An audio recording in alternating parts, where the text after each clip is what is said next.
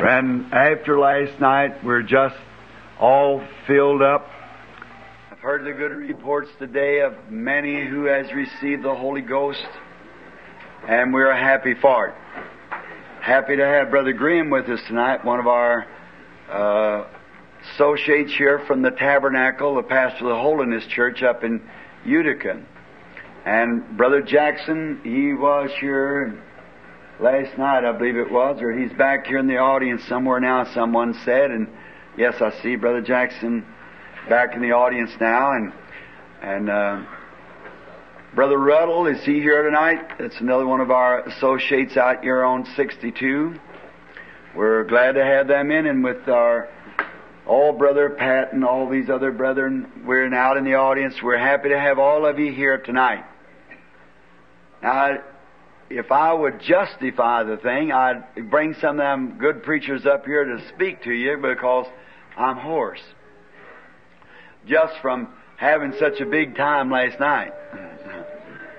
Now, my wife, she's my correction. You know, brethren, what I'm talking about. She said the people in the back last night couldn't hear me because I was speaking into this thing. And now, before I get started, I'm going to try something.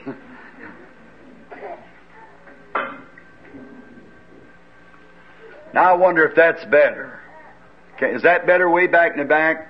Or is this better? Is this better? Now, honey, that's one time I got a mark against you.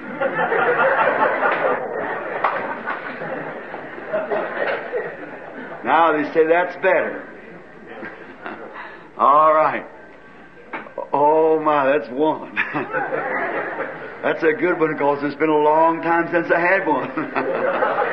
She's usually right.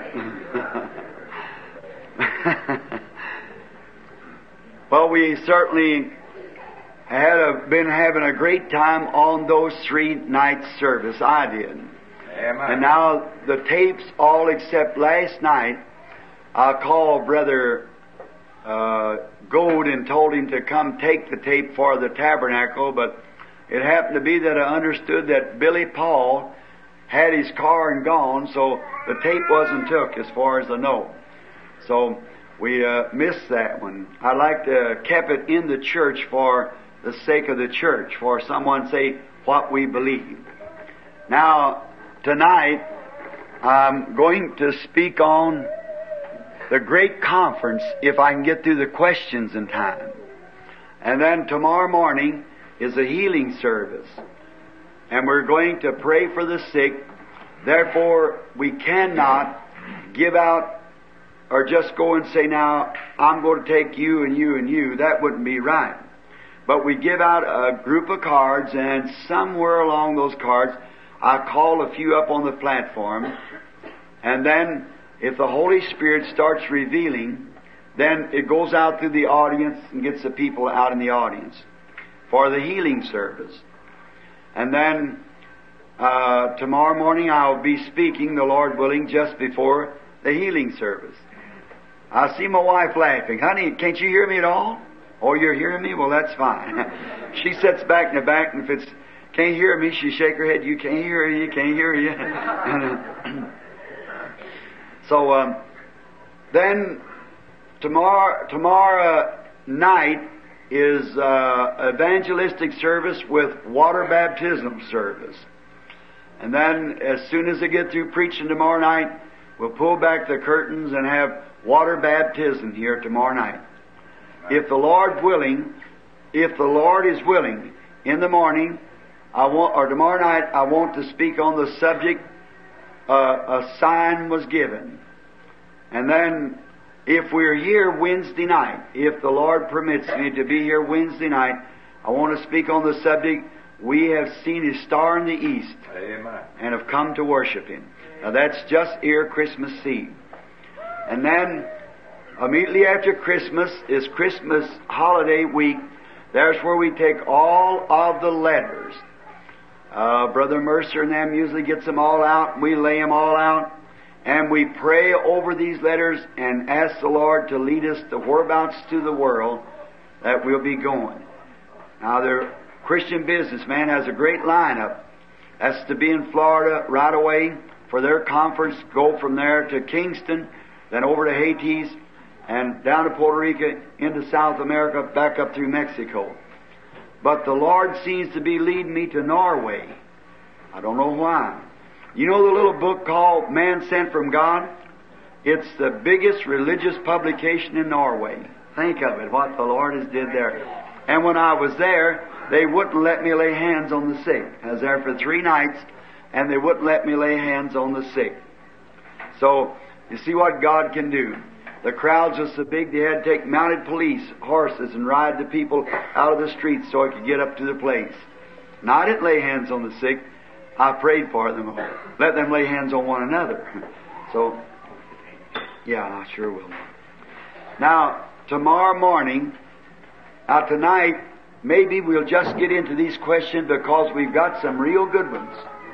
And I don't know how long the Lord will keep us on it. And then tomorrow morning, either Billy Paul, Gene, or Leo, one will be here to give out prayer cards at 8 till 8.30. Now, the out-town people, let me make it over again so you won't forget. If you'd like to come into the line, we'd rather have out-of-town people if possible. Now, sometimes here in the church, we get to a place where they say, well, we get the out-of-town people and bring them up. Someone will say, well, I didn't know what was wrong with them. They might have been telling something wrong. Then you get people in town, they say, oh, well, you might have knew them. So then they say, it's been said, well, I tell you, it's prayer cards. Well, what about them that hasn't got prayer cards? And there's been day after day when it's small. What say? Stand back from the mic. Huh. Well, you know, I always preach the middle of the road. so maybe I'll just take it like that. Is that better? That's, that's fine. I tell you what it is. Our, our public address system is very poor here. That's right. Very poor. And we're not trying to get any better now because we want the new tabernacle built right away. And that's when we'll have plenty of room. See if we can get around here and spread this place out a little larger and put up some more places and get ready for uh, meetings when we have them here. Amen. Now, remember in the morning, the boys, one or three of them, will be giving out cards between 8.30 or 8 and 8.30. That gives a chance for everybody to get settled down. And I was speaking on about how they give out cards. Why we do it is to keep order. See? Now, what if I come in here just like right now and said, uh, let this woman, this woman, and that man, and this woman, you see, that would be kind of, that'd be kind of hard. See? And then if you, many times I've did this, and if there are not too many in the morning, I may do the same thing. I say, how many people here from out of the city that's got something wrong with you? You stand up. Brother Mercer, you're coming to my rescue. You going to help me? I'm coming to mine. Oh, you're coming. He's coming to his own rescue. I talked to your girlfriend today. Now you better be real good to me.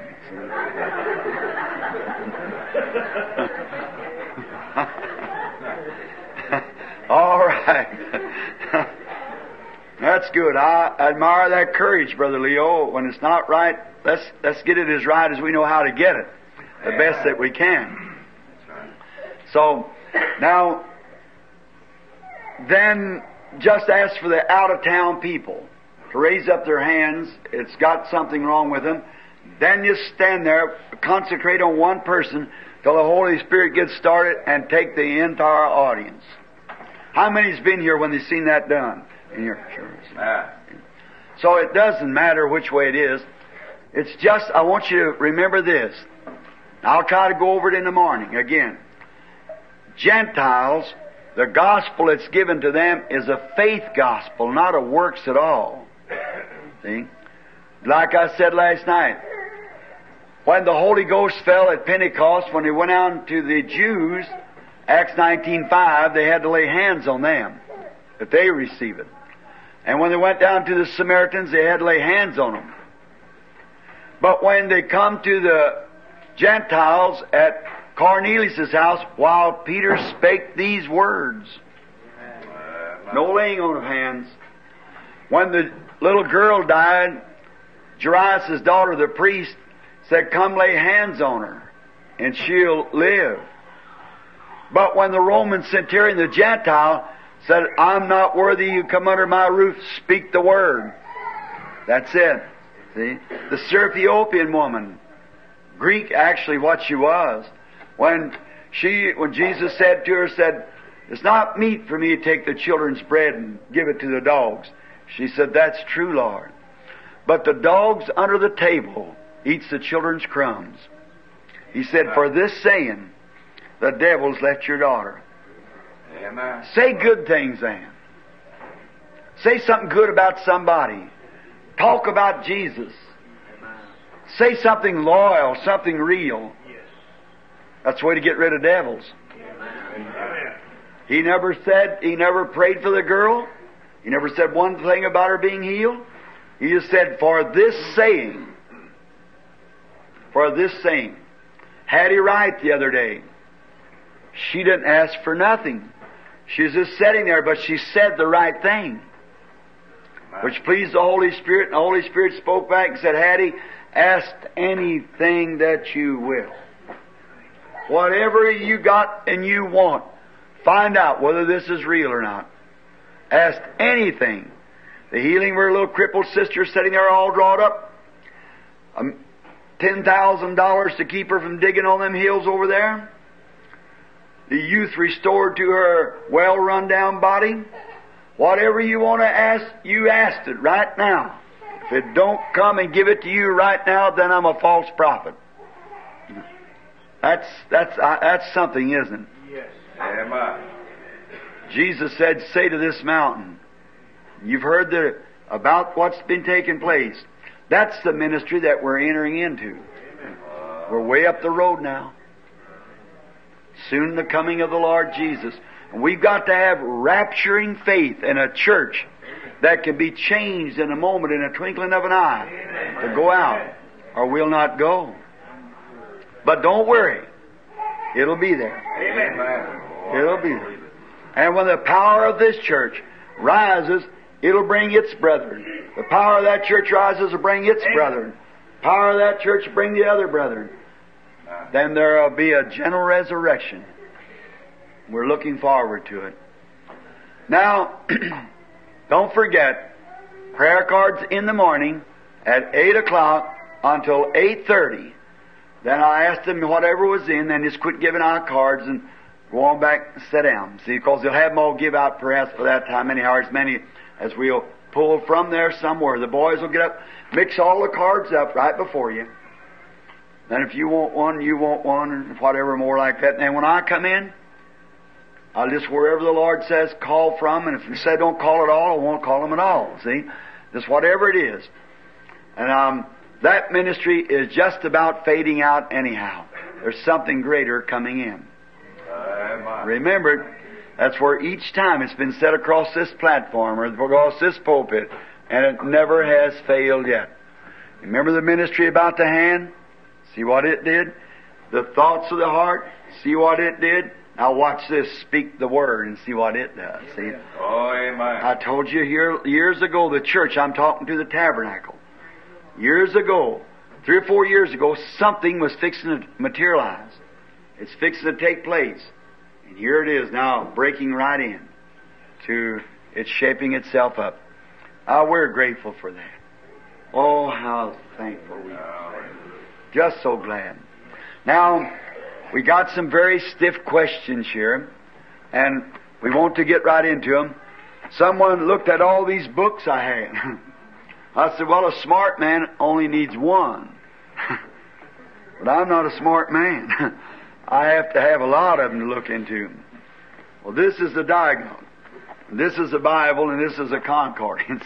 so, it's, um, we're just going to ask the Lord to help us and direct us to answer these questions. just according to His divine will and His Word. So now let us bow our heads just a moment for prayer. Lord, we are grateful to Thee from the very depths of our heart for what You have done for us in these last three nights. Oh, to see the ministers meeting back there in the room and shaking hands and uh, renewed faith and, and a new step to take, calling up on the phone and our hearts rejoicing and people receiving the Holy Spirit after they have been seen your word, how it tells exactly step by step how to receive your Holy Spirit. We are so thankful for that, Lord. You make things so simple to us because we are a simple people. And we pray, God, that, that you will let us completely make ourselves always simple. For it's, that's the kind that humbles himself shall be exalted. And the wisdom of the world is foolishness unto God. That please God through the foolishness of preaching to save them which were lost. And now, Father, there is here in my possession several questions that's asked from sincere hearts that's concerned. And one of them answered wrong might throw the person the wrong way, to throw the wrong light on their question that's bothering them. So, Lord God, I pray that your Holy Spirit will move upon us and will reveal these things. For it's written in the Scriptures, Ask and you shall receive, and seek and you shall find, knock and it shall be open unto thee. That's what we are doing now, Lord, knocking at your door of mercy, standing in the shadow of thy divine justice. We plead for the blood of the Christ of God and for the Holy Spirit. And we do not come tonight just because that we're off of that three nights of preaching on the Holy Spirit, we come with the deepest of reverence and sincerity. We come that as if this was the last night we'd ever be on earth. We come believing that you'll answer our prayers. Lord, we ask you now to satisfy us with thy eternal life and in answering of thy word. May the Holy Spirit Oh God, as we found that it's yourself among us, we pray that He will reveal to us tonight the things that we desire. And we desire only to, that our souls might be uh, at rest and our minds at peace and having faith in God to walk forward to claim the blessings that He promised. We ask this in Jesus' name. Amen. Amen.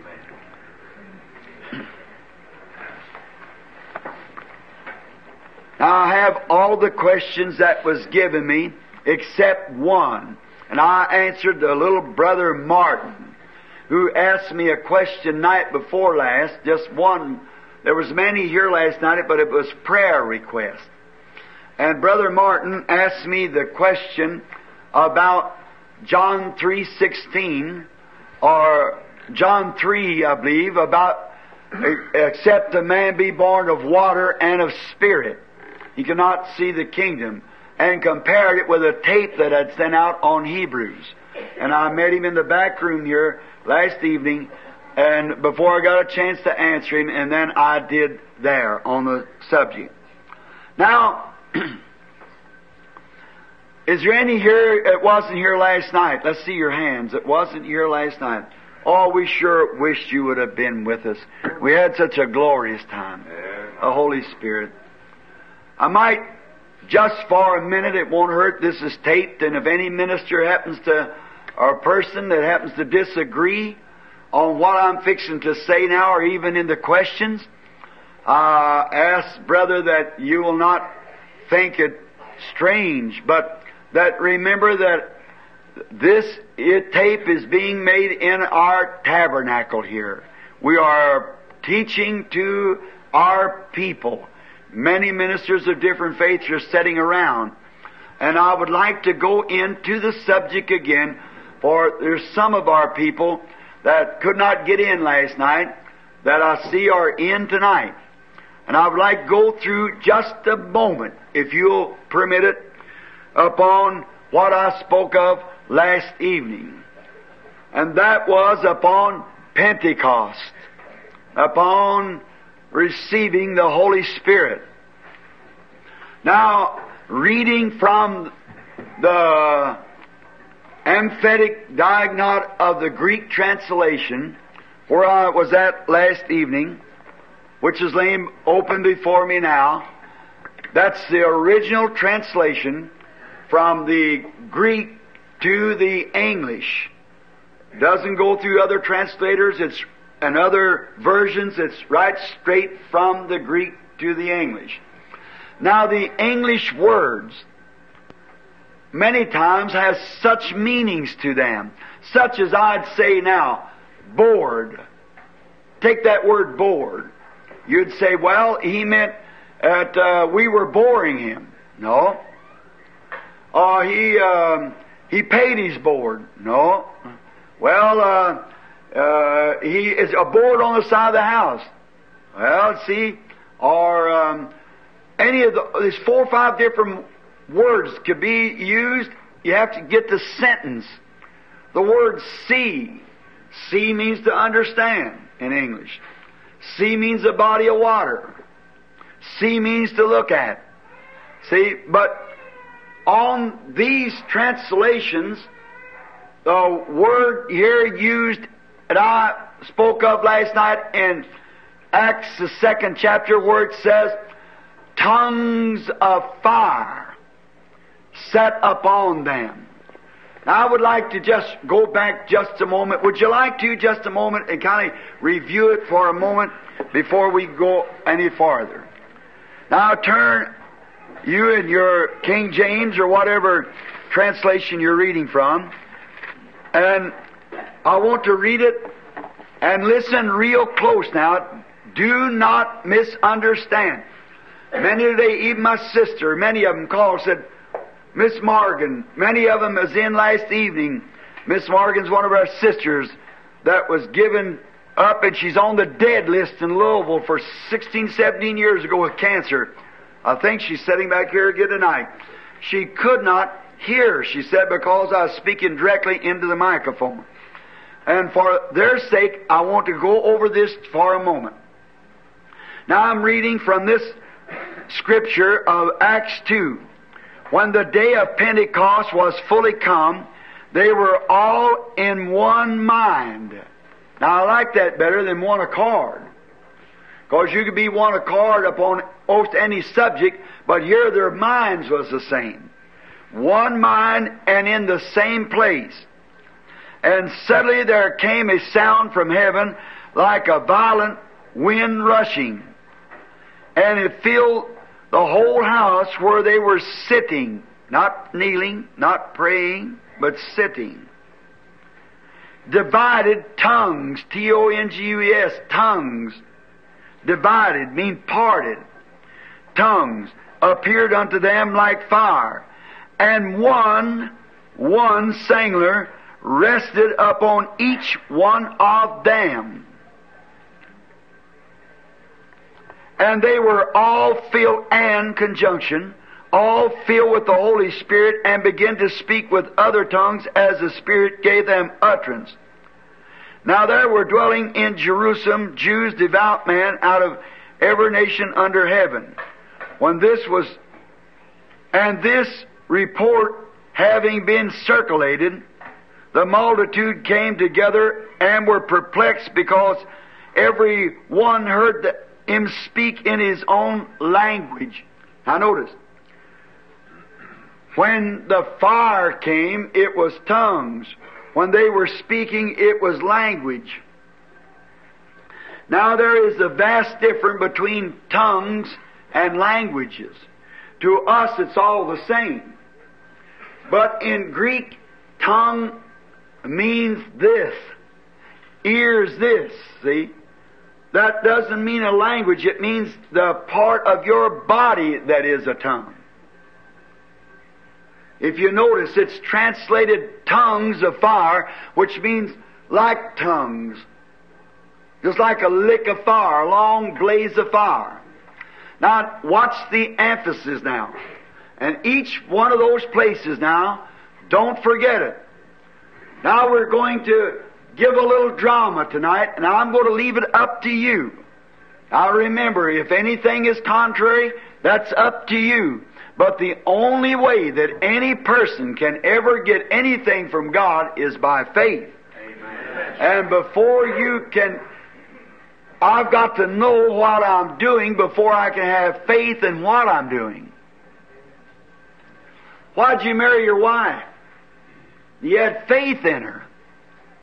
You had tried her, watched her, seen what she come from, who she was. That's the way with the Scripture, with God. That's what makes these visions, the, this pillar of fire, all these things. Because God promised it. God said so. I've tested Him by His Word and know that it is the truth. And you follow His Word. Then if there's a little confusion somewhere, then there's something wrong somewhere. Because God, listen, God never did or never will work out of His own, uh, contrary to His own laws. Amen. The winter won't come in the summer and the summer won't come in the winter. The leaves won't fall off in the springtime and come on again in the fall. You just can't make it. As I've said last night about the artesian well watering your crop, or if you're standing out here in the middle of a field and it's black dark and you'd say, Oh, great electricity, I know you're in the field. Now, I'm lost, don't know where I'm going. Give light so I can see how to walk. There's enough electricity to light the field up. That's true. Yes, sir. There's enough electricity in this room to light it without even them lights. Without that. But you have to govern it. Now, you might scream to that till you couldn't scream no more. It'll never light up. But if you work according to the laws of electricity, then you'll get light. Well, that's the same way it is by God. God is the great creator of heavens and earth, the same yesterday, today, and forever. He's still God. But He'll only work as you follow His laws and instructions. Amen. Friends, I say this. I've never seen it fail, and it won't. Now, let's notice. Jesus in Luke 24 49 had commissioned the apostles after they had been saved and sanctified according to the Word. Justified by believing on the Lord Jesus. Sanctified at John 17 17 when Jesus said, Sanctify them, Father, through the truth. Thy Word is the truth, and He was the Word. Now, gave them power to heal the sick, cast out devils, raise the dead, and they come back rejoicing. And their names were on the Lamb's Book of Life. Remember how we've been through that now? But they wasn't yet converted. Jesus told Peter the night of his crucifixion, he said, after you are converted, then strengthen your brethren. The Holy Spirit's what you are believing unto eternal life. But when the Holy Spirit comes, it is eternal life. You're believing unto, you're begotten of the Spirit at sanctification, but never born to the Spirit until the Holy Ghost comes in. That's correct. A baby's got life in the womb of the mother. Little muscles are quivering, it's alive. But it's a different life when it breathes the breath of life into its nostrils. It's a different. That's what it is. It's my dear Methodist brother and Pilgrim Holiness Nazarene. the baptism of the Holy Ghost is different from sanctification. Sanctification is a cleansing, which is preparation of life. But when the Holy Ghost comes, it is life. Amen. Preparation is cleaning the vessel. The Holy Ghost is filling the vessel. Sanctification means cleaned and set aside for service. The Holy Spirit has put it in service. You are the vessel that God's cleaned up. And we find out the Holy Ghost is God Himself in you.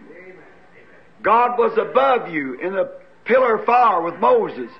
God was with you in Jesus Christ. Now God is in you in the Holy Ghost. No three gods, one God working in three offices. God condescending, coming down from above, man, he couldn't touch him. Because he sinned in the Garden of Eden and separated himself from his fellowship. Then, what happened? He had to be above him. Blood of bulls and goats would not let him fellowship with man again. But through laws and ordinances foreshadowing this time coming of offering of bullocks and so forth and sheep. Then when God came down and dwelt in a sanctified body, virgin born of a woman, that God Himself, you know what God did? He, no, he did nothing but just, He placed His tent among ours. God dwelt in a tent called Jesus Christ. He just pitched His tent with us. Become, I'm preaching on that in the morning, so I better leave it alone. Now, that how God tent or dwelt with us. And now God is in us. Jesus said in John 14, and that day you'll know that I'm in the Father, the Father in me, and I in you, and you in me. God in us. What was the purpose? To carry out His plan. God had a plan. He wanted to work among man. And He brought it in the pillar of fire, which was the mystic fire that hung over the children of Israel. Then that same fire was made manifest in the body of Jesus, and he said he was that fire. Before Abraham was, I am. He was that fire. He said, I come from God and I go back to God.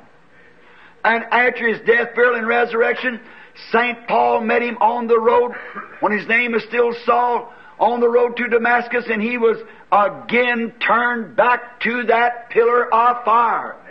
A light put his eyes out. That's right. And here he is today, the same pillar of fire. Same God doing the same signs, the same works. Why? He's working among His people. He's in us. I, he is with you now, but I will be in you. I'll be with you, even in you, to the end of the consummation, the end of the world. You'll be with us. Now notice. Jesus had commissioned them to go up at Jerusalem and wait. The word tarry means to wait. Doesn't mean to pray. Means to wait. They was not fit subjects yet to preach because they only knew His resurrection by His person of seeing Him outside. He, he commanded them not to preach anymore. Not to do nothing. Until first they had been endued with power from on high. I don't believe that any preacher is um, a sent of God or can be correctly ordained because God is infinite. And what God does once, He does all the time. Now, if God would not let them preach until they went to Pentecost and received the Pentecostal experience, no man, unless some deep desire of his own or some organization has commissioned him, has the rights to enter a pulpit until he has been filled with the Holy Ghost. That's exactly right. Because he's leading them by an intellectual conception of some organization until he's filled with the Holy Ghost, and then he is giving them the food of the dove, the lamb and the dove, as we spoke of last evening. Now notice, he said, Go up to Jerusalem and there remain. Just wait there until I send the promise of the Father. And then, what did they do? there was 120 of them, men and women. They went into a upper room at the temple. Now it was nearing the day of the Feast of Pentecost. From the cleansing of the sanctuary, the killing of the paschal lamb, until the, the coming of Pentecost, which is the first fruits of the harvest, the Jubilee. The Pentecostal Jubilee. And on the buildings, now, I've been in the countries. The Oriental countries seldom had a stairway inside. The stairway was outside. Outside the temple, we are told, there was a stairway that led up to a little room way along, go up and up and up till you get up to a little room up there like a storage room in the top of the temple. Some kind of a little room. An upper room. And the Bible said that they were in there and the doors were shut because they were afraid of the Jews. Because they'd pull them apart for worshiping the Lord Jesus after Caiaphas the high priest and Pontius Pilate and them had put him to death. So they were going to get rid of all the so-called Christians. And the doors were shut. And they were waiting. Now, in those rooms like that, there is no windows. Windows was little barred things with doors like you pulled open.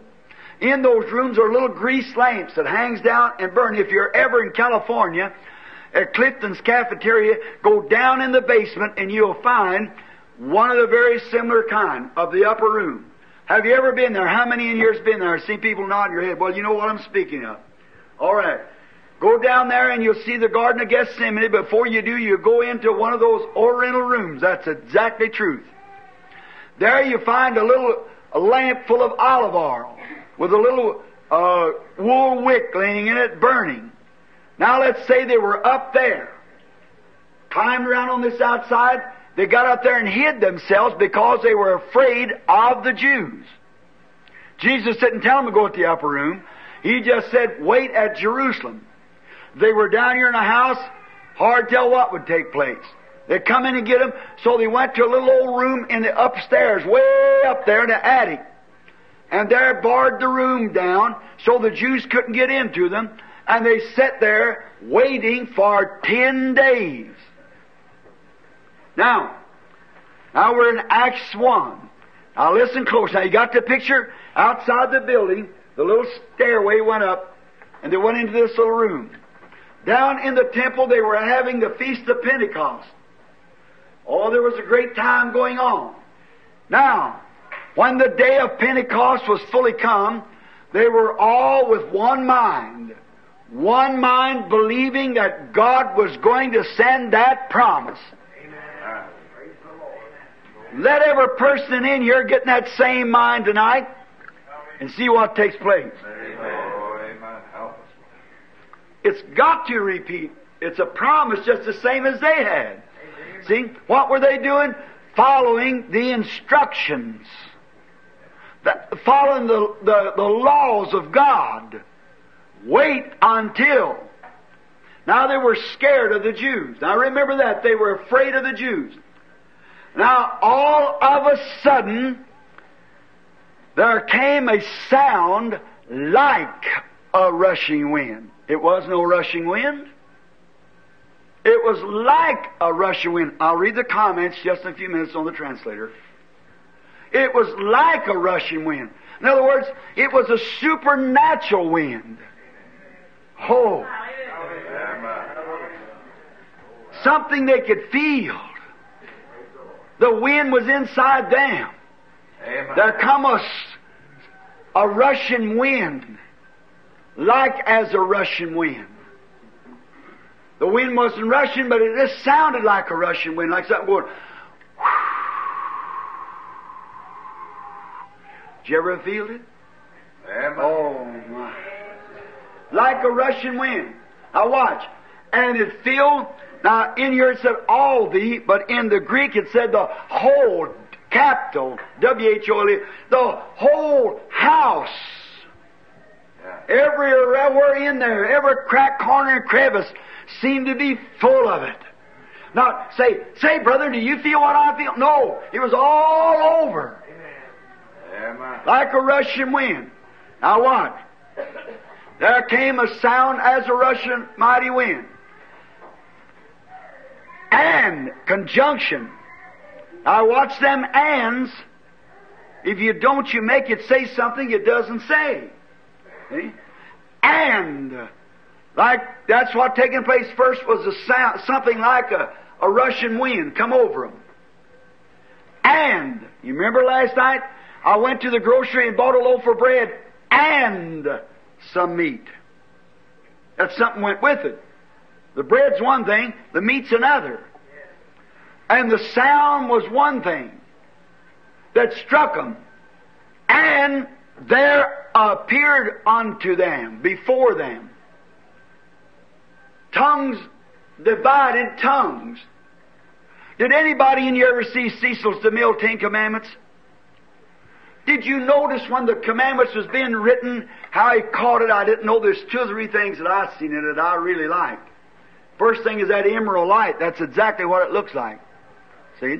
Another thing was when the commandment was written and after it was over, did you notice flying away from that big pillar of fire, there was little licks of fire flying away? Did you notice that? Now that's what I think this was at Pentecost there appeared unto them, so they could see it. It didn't say there fell in them, but there appeared unto them licks, we'll call it, tongues, like tongue, like this tongue here, shape of the tongue, lick of fire. Now, ears, I said, ear is ear, finger is finger. Finger don't mean you felt it, it means it looked like a finger. And if it was the ear, it didn't mean they heard it, it looked like an ear. This was fire that looked like a tongue. Not someone speaking. A fire that looked like a tongue. Now listen, watch how the Greek reads it here. And suddenly there came a sound like a rushing mighty wind. The third, the third verse. And divided tongues appeared to them. Not divided tongues was in them, or they were speaking with a divided tongue. It was a divided tongues appeared to them. Now watch, it's not on them yet. It's there in the room, circling around, like in this wind.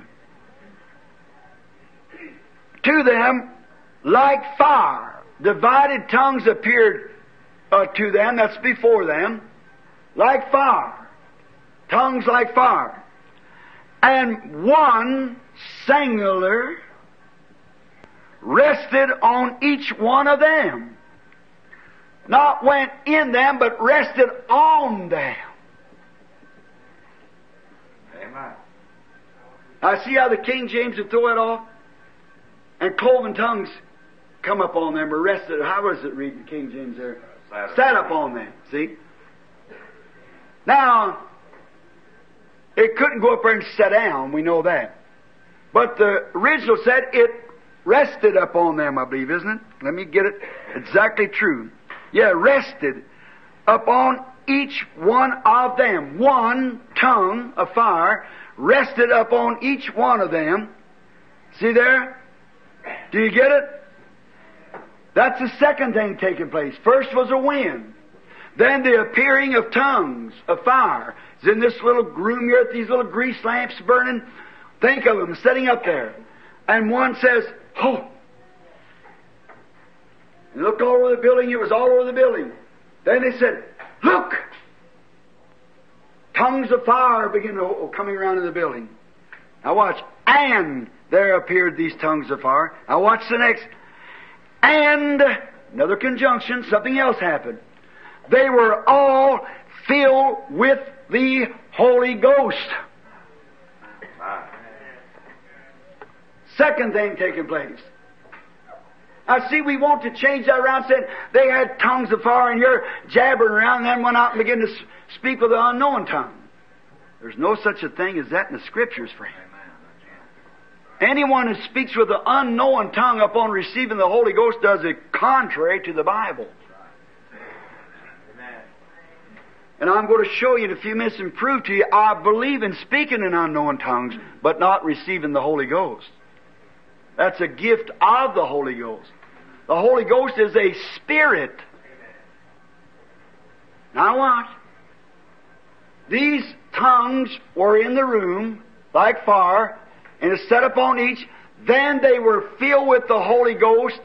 Second thing. And then, after they were filled with the Holy Ghost, spake with tongues, not with tongues, with languages. Do you notice that? They begin to speak with other languages as the Spirit gave them to utter. Now, this was noised abroad. Now watch. Now let's get the illustration in so you won't forget it now. According to Scripture, in the upper room waiting, suddenly a sound like a rushing wind that was up on them. That was the Holy Spirit. How many believes that that was the appearing of the Holy Spirit? Amen. Like a wind, the supernatural wind.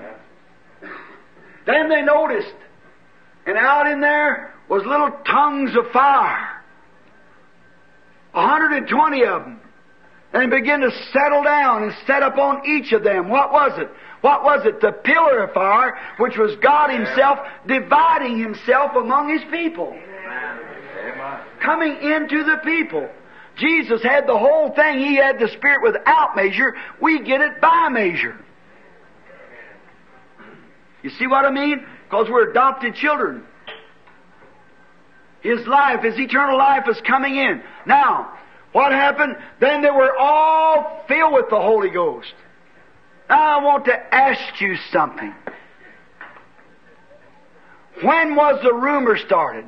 If they had to come out of that upper room to go down that steps and get out into the palace courts or out into to the temple courts, which was probably a city block from where they were at, upstairs and down out into the courts where all the people were gathered together. And they come out of there drunken like on the Spirit.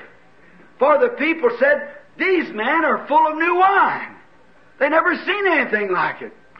And each one was trying to say, The Holy Spirit has come. The promise of God is upon me. I've been filled with the Spirit.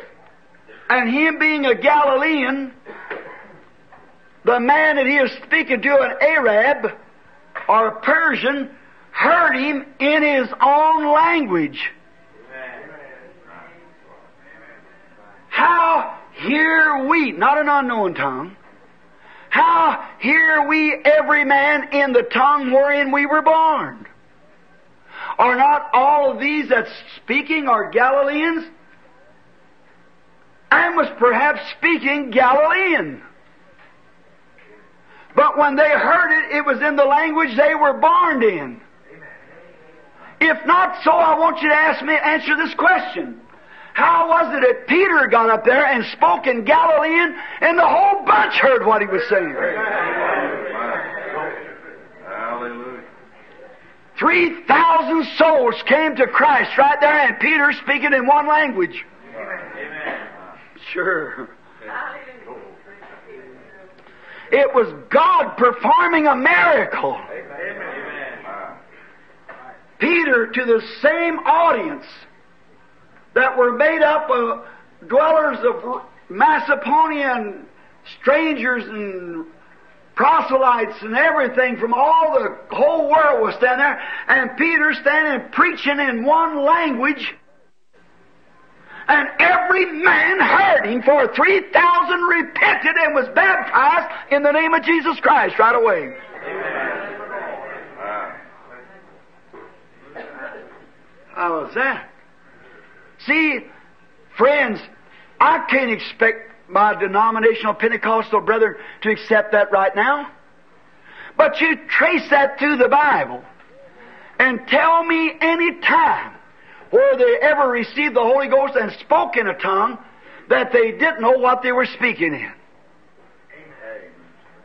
And if that's the way they got it there, the sovereign God, it has to happen every time the same way. Amen. Now, I cannot, now, at the house of Carnation, we remember, When we went down to Samaria last night, we found out there was one thing recorded about them hearing in any other tongue.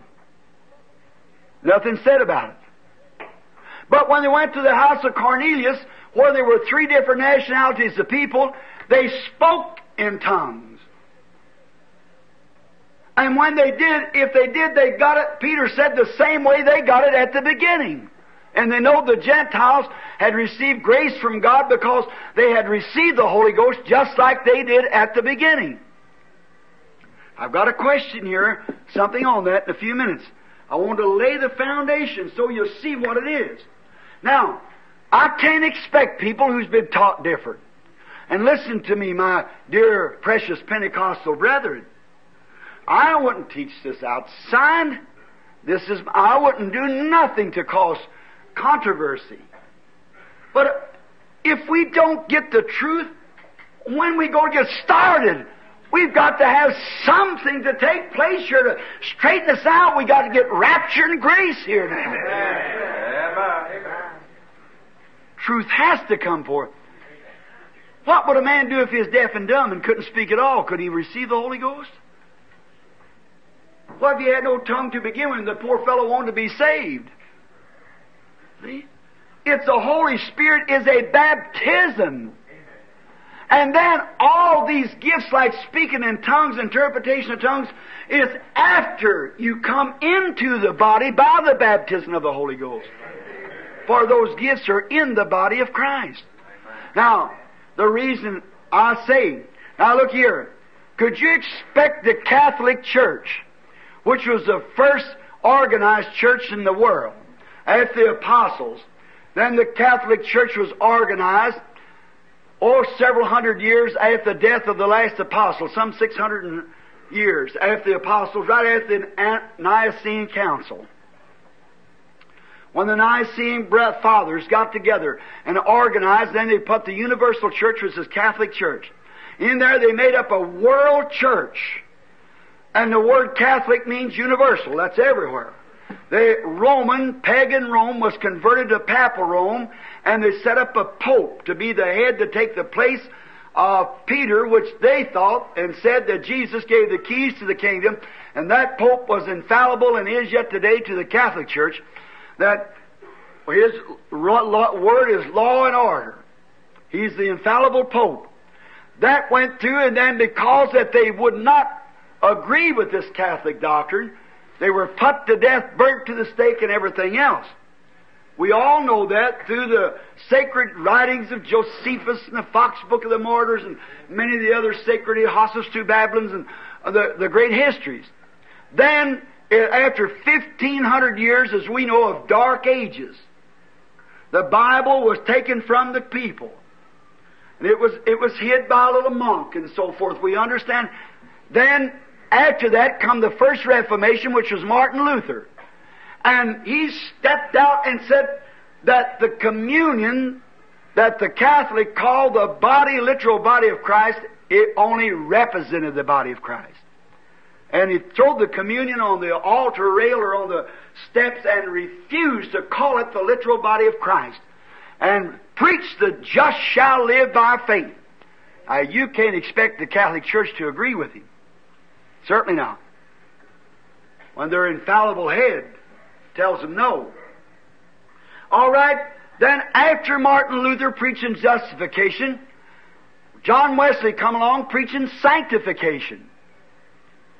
And he preached that a man after being justified, it's all right, but you've got to be sanctified. Cleansed, the root of evil taken out of you by the blood of Jesus. Uh, you can't expect the Luthers to preach sanctification because they're not going to do it. After Wesley preached sanctification and many little break-offs from it, which come the Wesleyan Methodists and the Nazarene and so forth, which kept the fire burning through their age, then come along Pentecost and said, while the Holy Ghost is the baptism and we speak with tongues with getting it. Sure. Then when that come along, you couldn't expect the Nazarenes and the Wesleyan Methodists and so forth to believe that. They wouldn't do it. They called it the devil. All right, what happened? They began falling. Pentecost began rising. Now it's rose to a place till Pentecost has got it shaken. It's organized, went out, don't accept nothing else. They got their own rules and regulations, and that settles it. Now, when the Holy Spirit comes in and reveals the truth of anything and proves it by His own presence and by His Word, you can't expect the Pentecostal people to say, I'll agree with it. You've got to stand alone like Luther did, like Wesley did, and like the rest of them did. You've got to stand on that because the hour is here. Amen. And that's what makes me an ugly duckling. That's what makes me different, and I can't get started like my precious brother Oral Roberts and Tommy Osborn, Tommy Hicks, and them because the churches won't agree with me. They say he believes in eternal security. He's a Baptist. He don't believe in speaking in tongues as initial evidence of the Holy Ghost. Get away from that guy. See? But come face to face with it. Amen. Face it down. They can face the Lutherans, the, the Methodists can. The Pentecostal can face the Methodists. I can face the Pentecostal with it. It's exactly right. It's true. Why is it? We're walking in the light as He is in the light. See, we're moving up the King's highway, and farther it comes, more grace is given, more power is given, more supernatural is given, and there we are.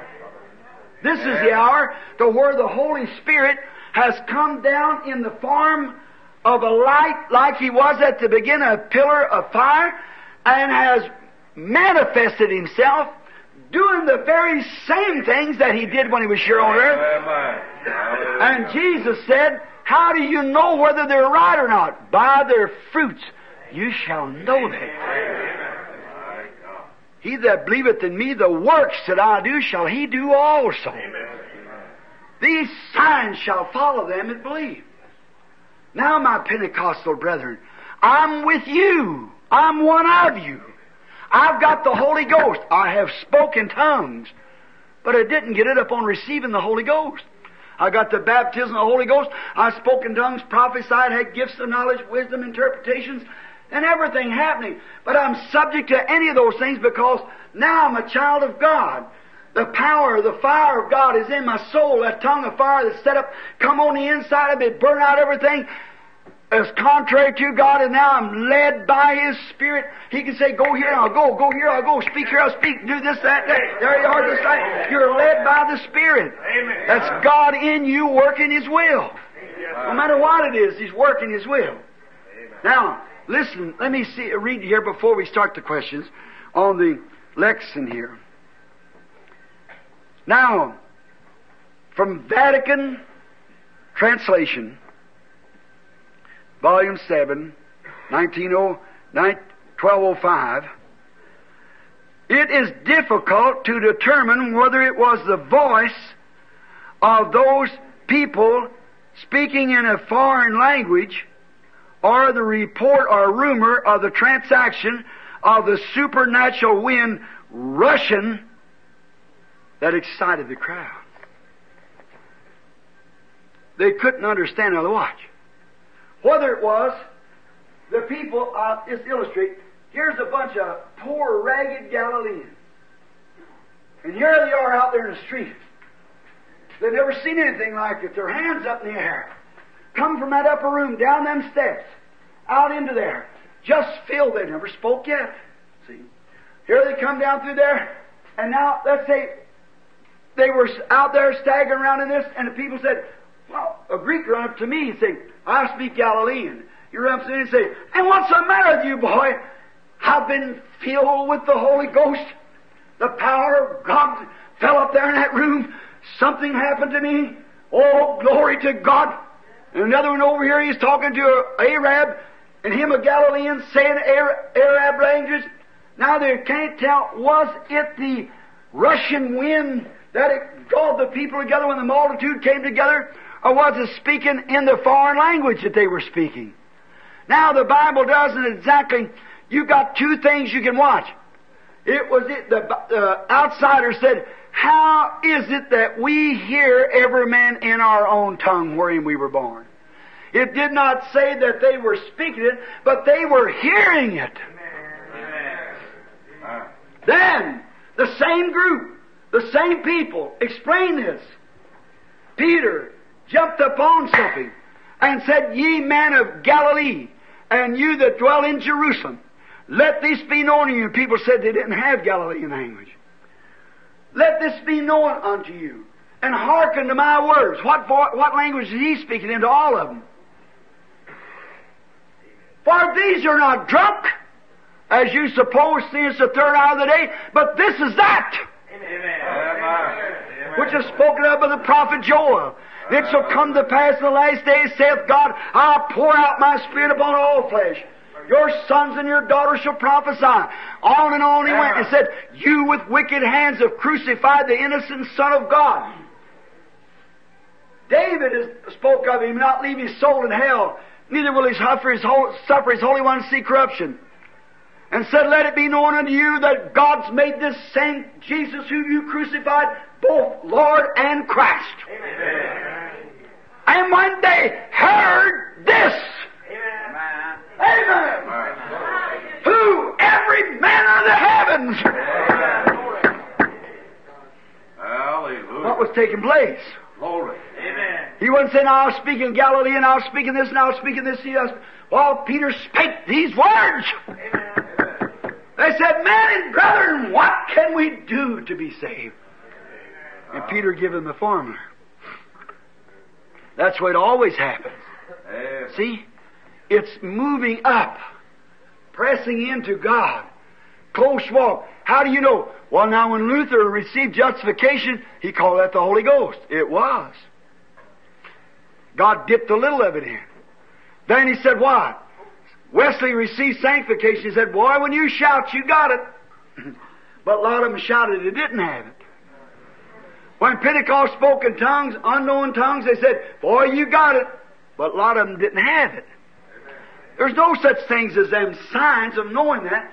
The only way you know a tree, Jesus said, is by the fruit that it bears. Ah. The works of the Spirit, the fruit of the Spirit. Then when you see a person that's filled with power, that's filled with the Holy Ghost, then you see a life that's changed. You see these signs following them that believe. In my name they shall cast out devils, speak with new tongues. If a snake had bite them, it wouldn't hurt them. If it had a deadly thing drinking, it wouldn't kill them. They'll lay hands on the sick and they shall recover. My, these kind of signs follows them that believe. But how do you get into it? Them gifts are in the body. How do you get in the body? Not by speaking your way in, but by baptized into one body. 1 Corinthians 12, 13. One spirit, we're all baptized into that body and subject to all the gifts. The Lord bless you. Uh,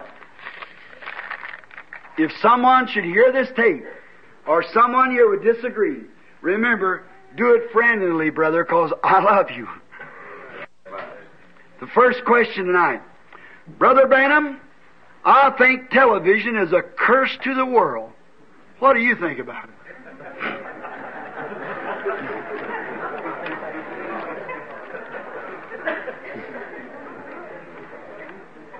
Well, ever who wrote it, I'm going to agree with you. They have made it a curse to the world. It could be a blessing to the world, but they've made it a curse. Anything like that, my dear people, is what you look at yourself.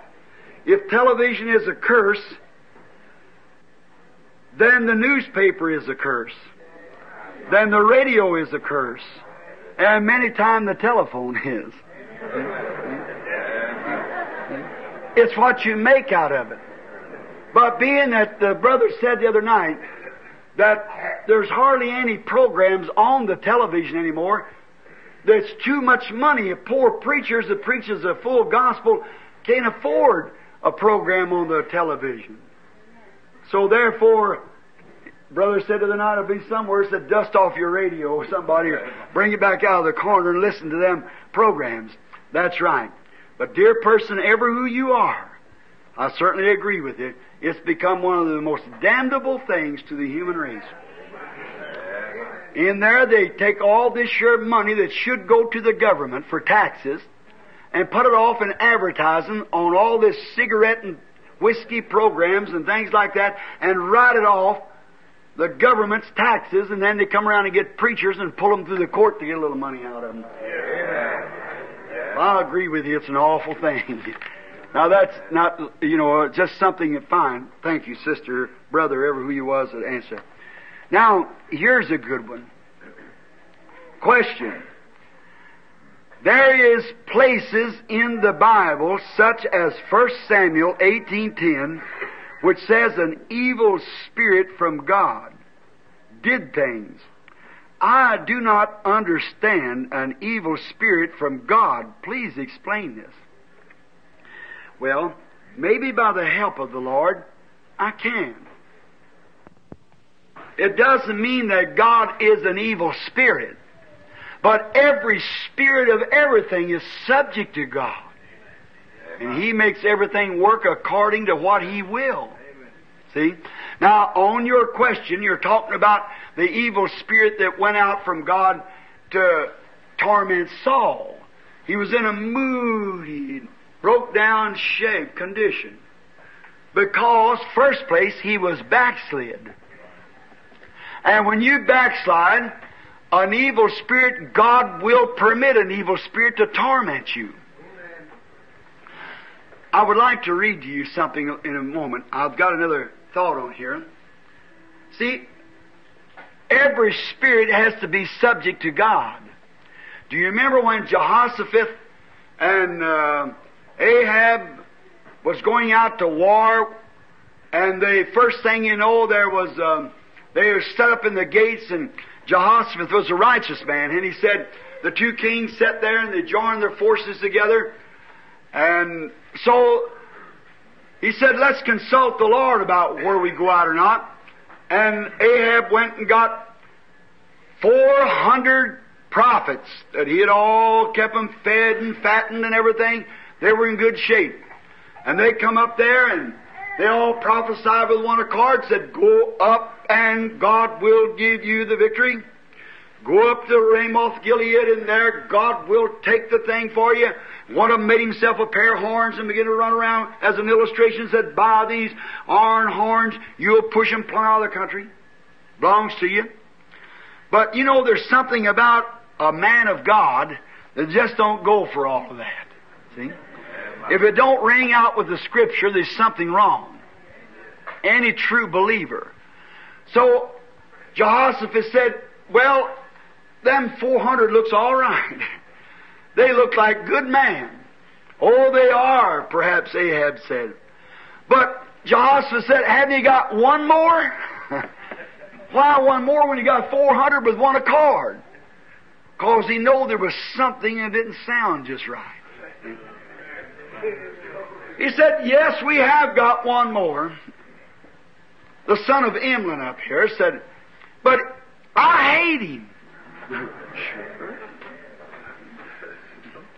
You close this church anytime you can. You'll run him out of the country, see?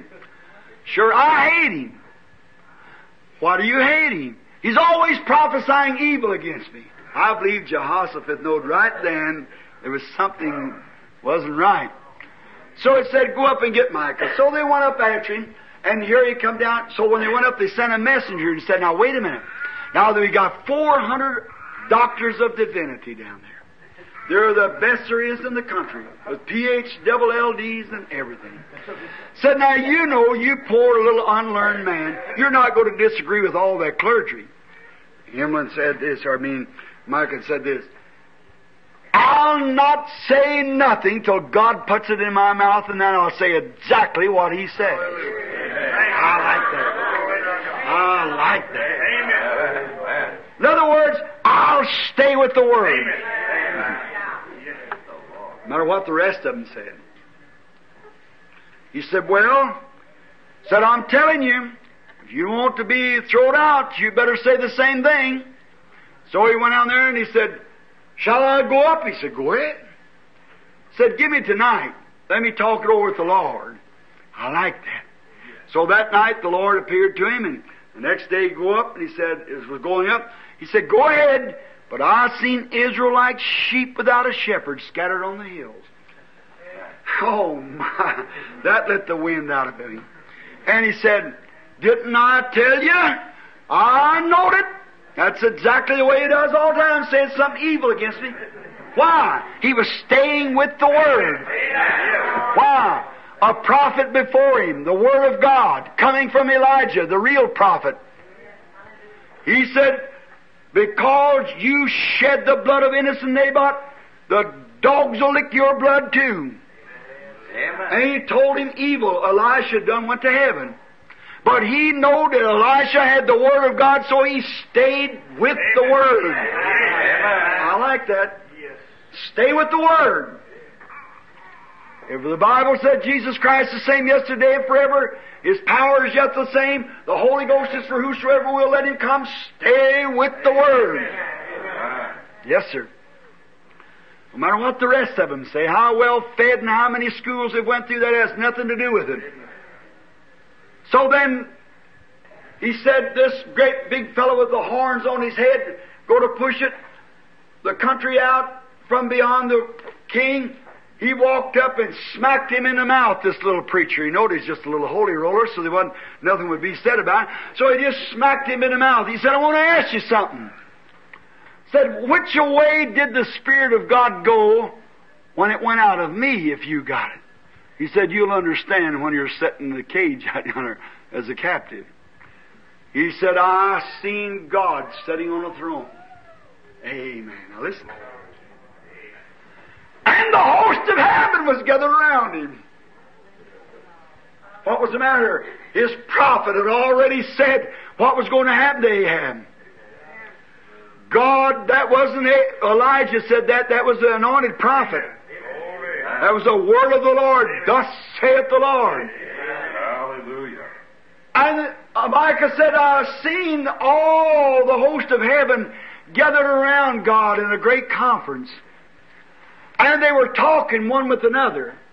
And the Lord said, Who can we get to go down? Which one of you can go down and deceive Ahab to get him out there to fulfill the Word of God, to get him shot?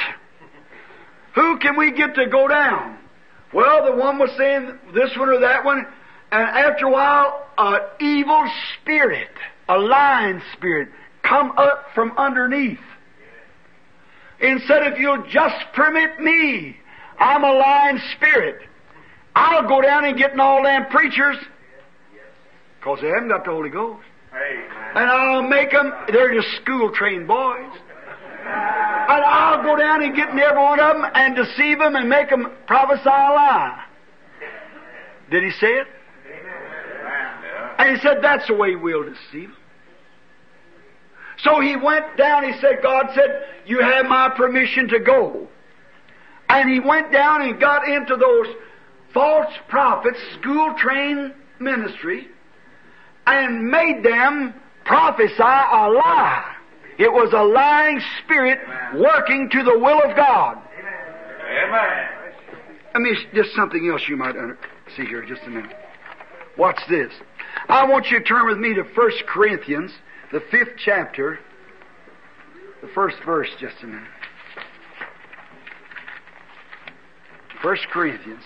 And watch this, if you want to see something, a God making something, how that those evil spirits, how that they'll, they'll move.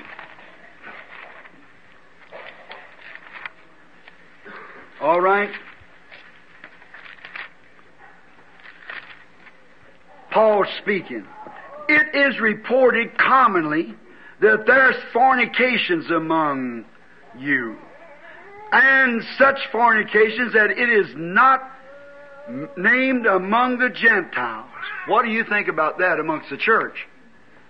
That one should have his father's wife, and ye are puffed up, and have not. Let's see. Uh, I believe I turned two pages. It. You are, and you are puffed up, and have not rather mourned that. oh, wait a minute here, am I? Yeah, try. Yeah, mourn. That's it. Puffed up and have not mourned.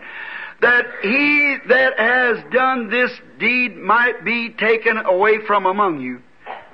Um, don't know. I don't believe that anyone would say unto this, or cutting back, but I'm only defending what I believe on if a man is once filled with the Spirit, he cannot lose it. See?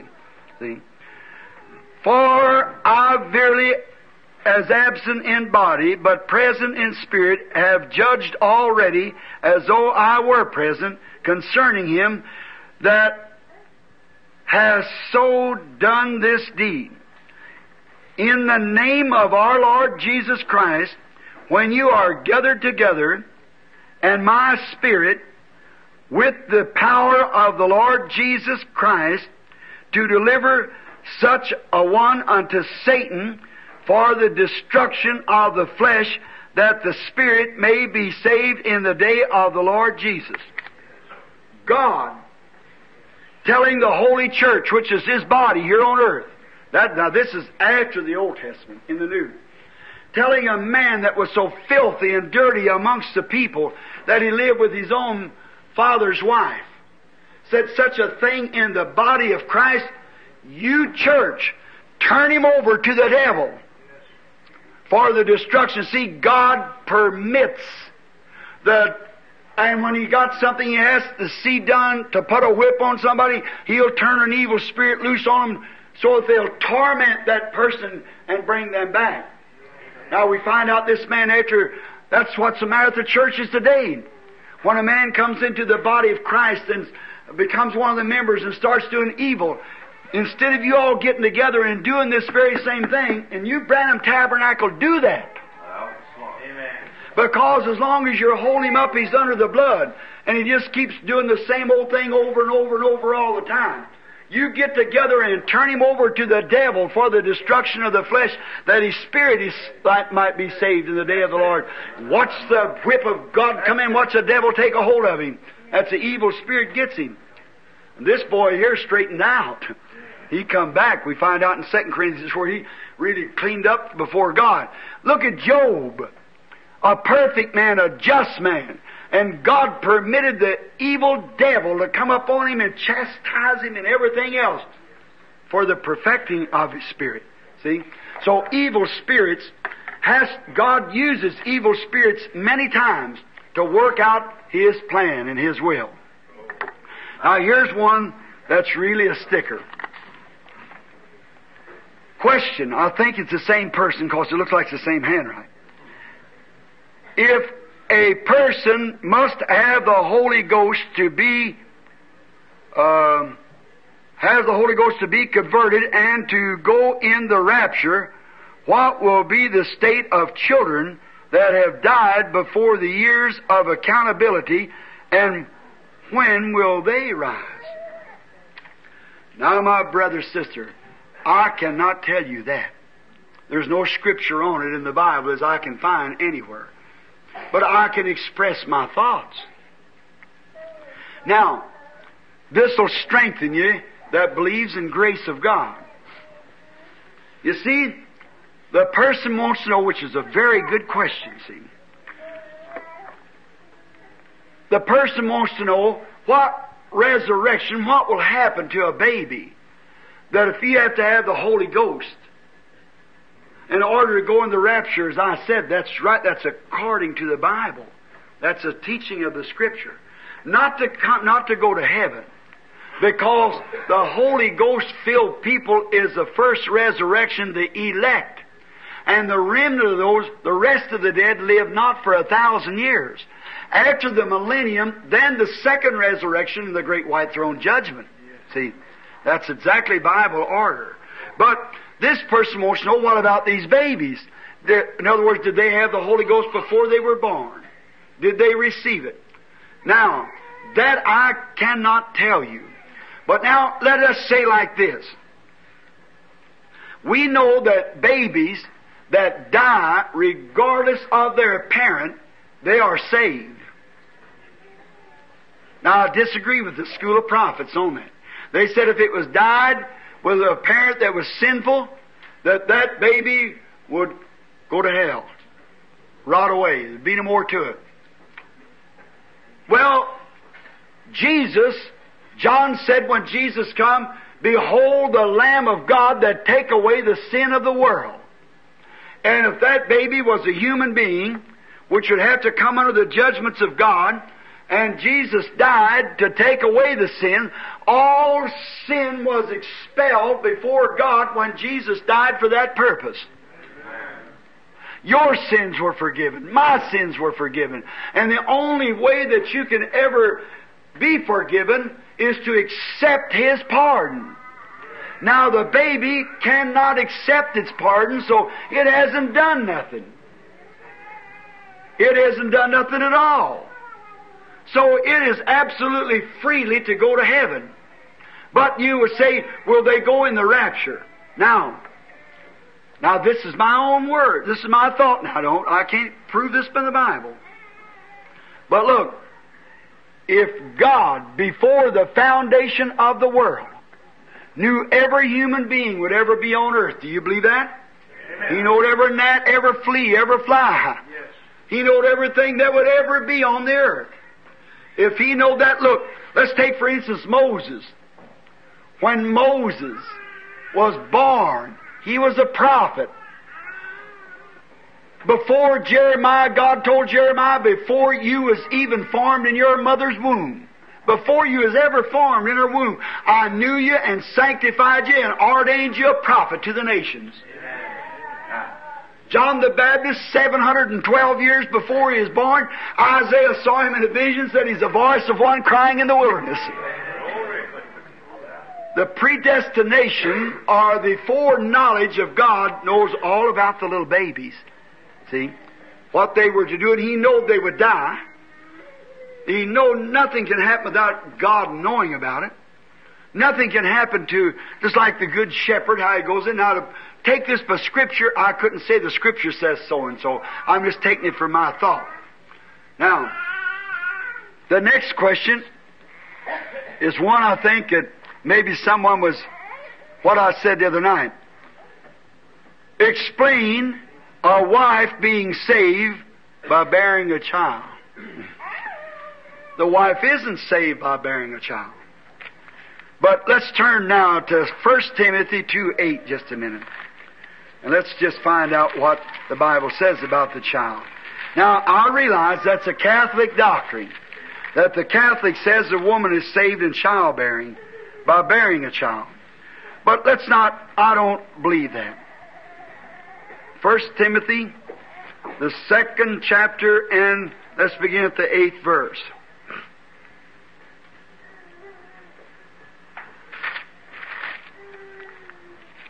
And read just a moment now. All right, listen. In like manner also that your women adore themselves in modest apparel. We oughtn't to ask that, should we? Listen at this. With shamefacedness,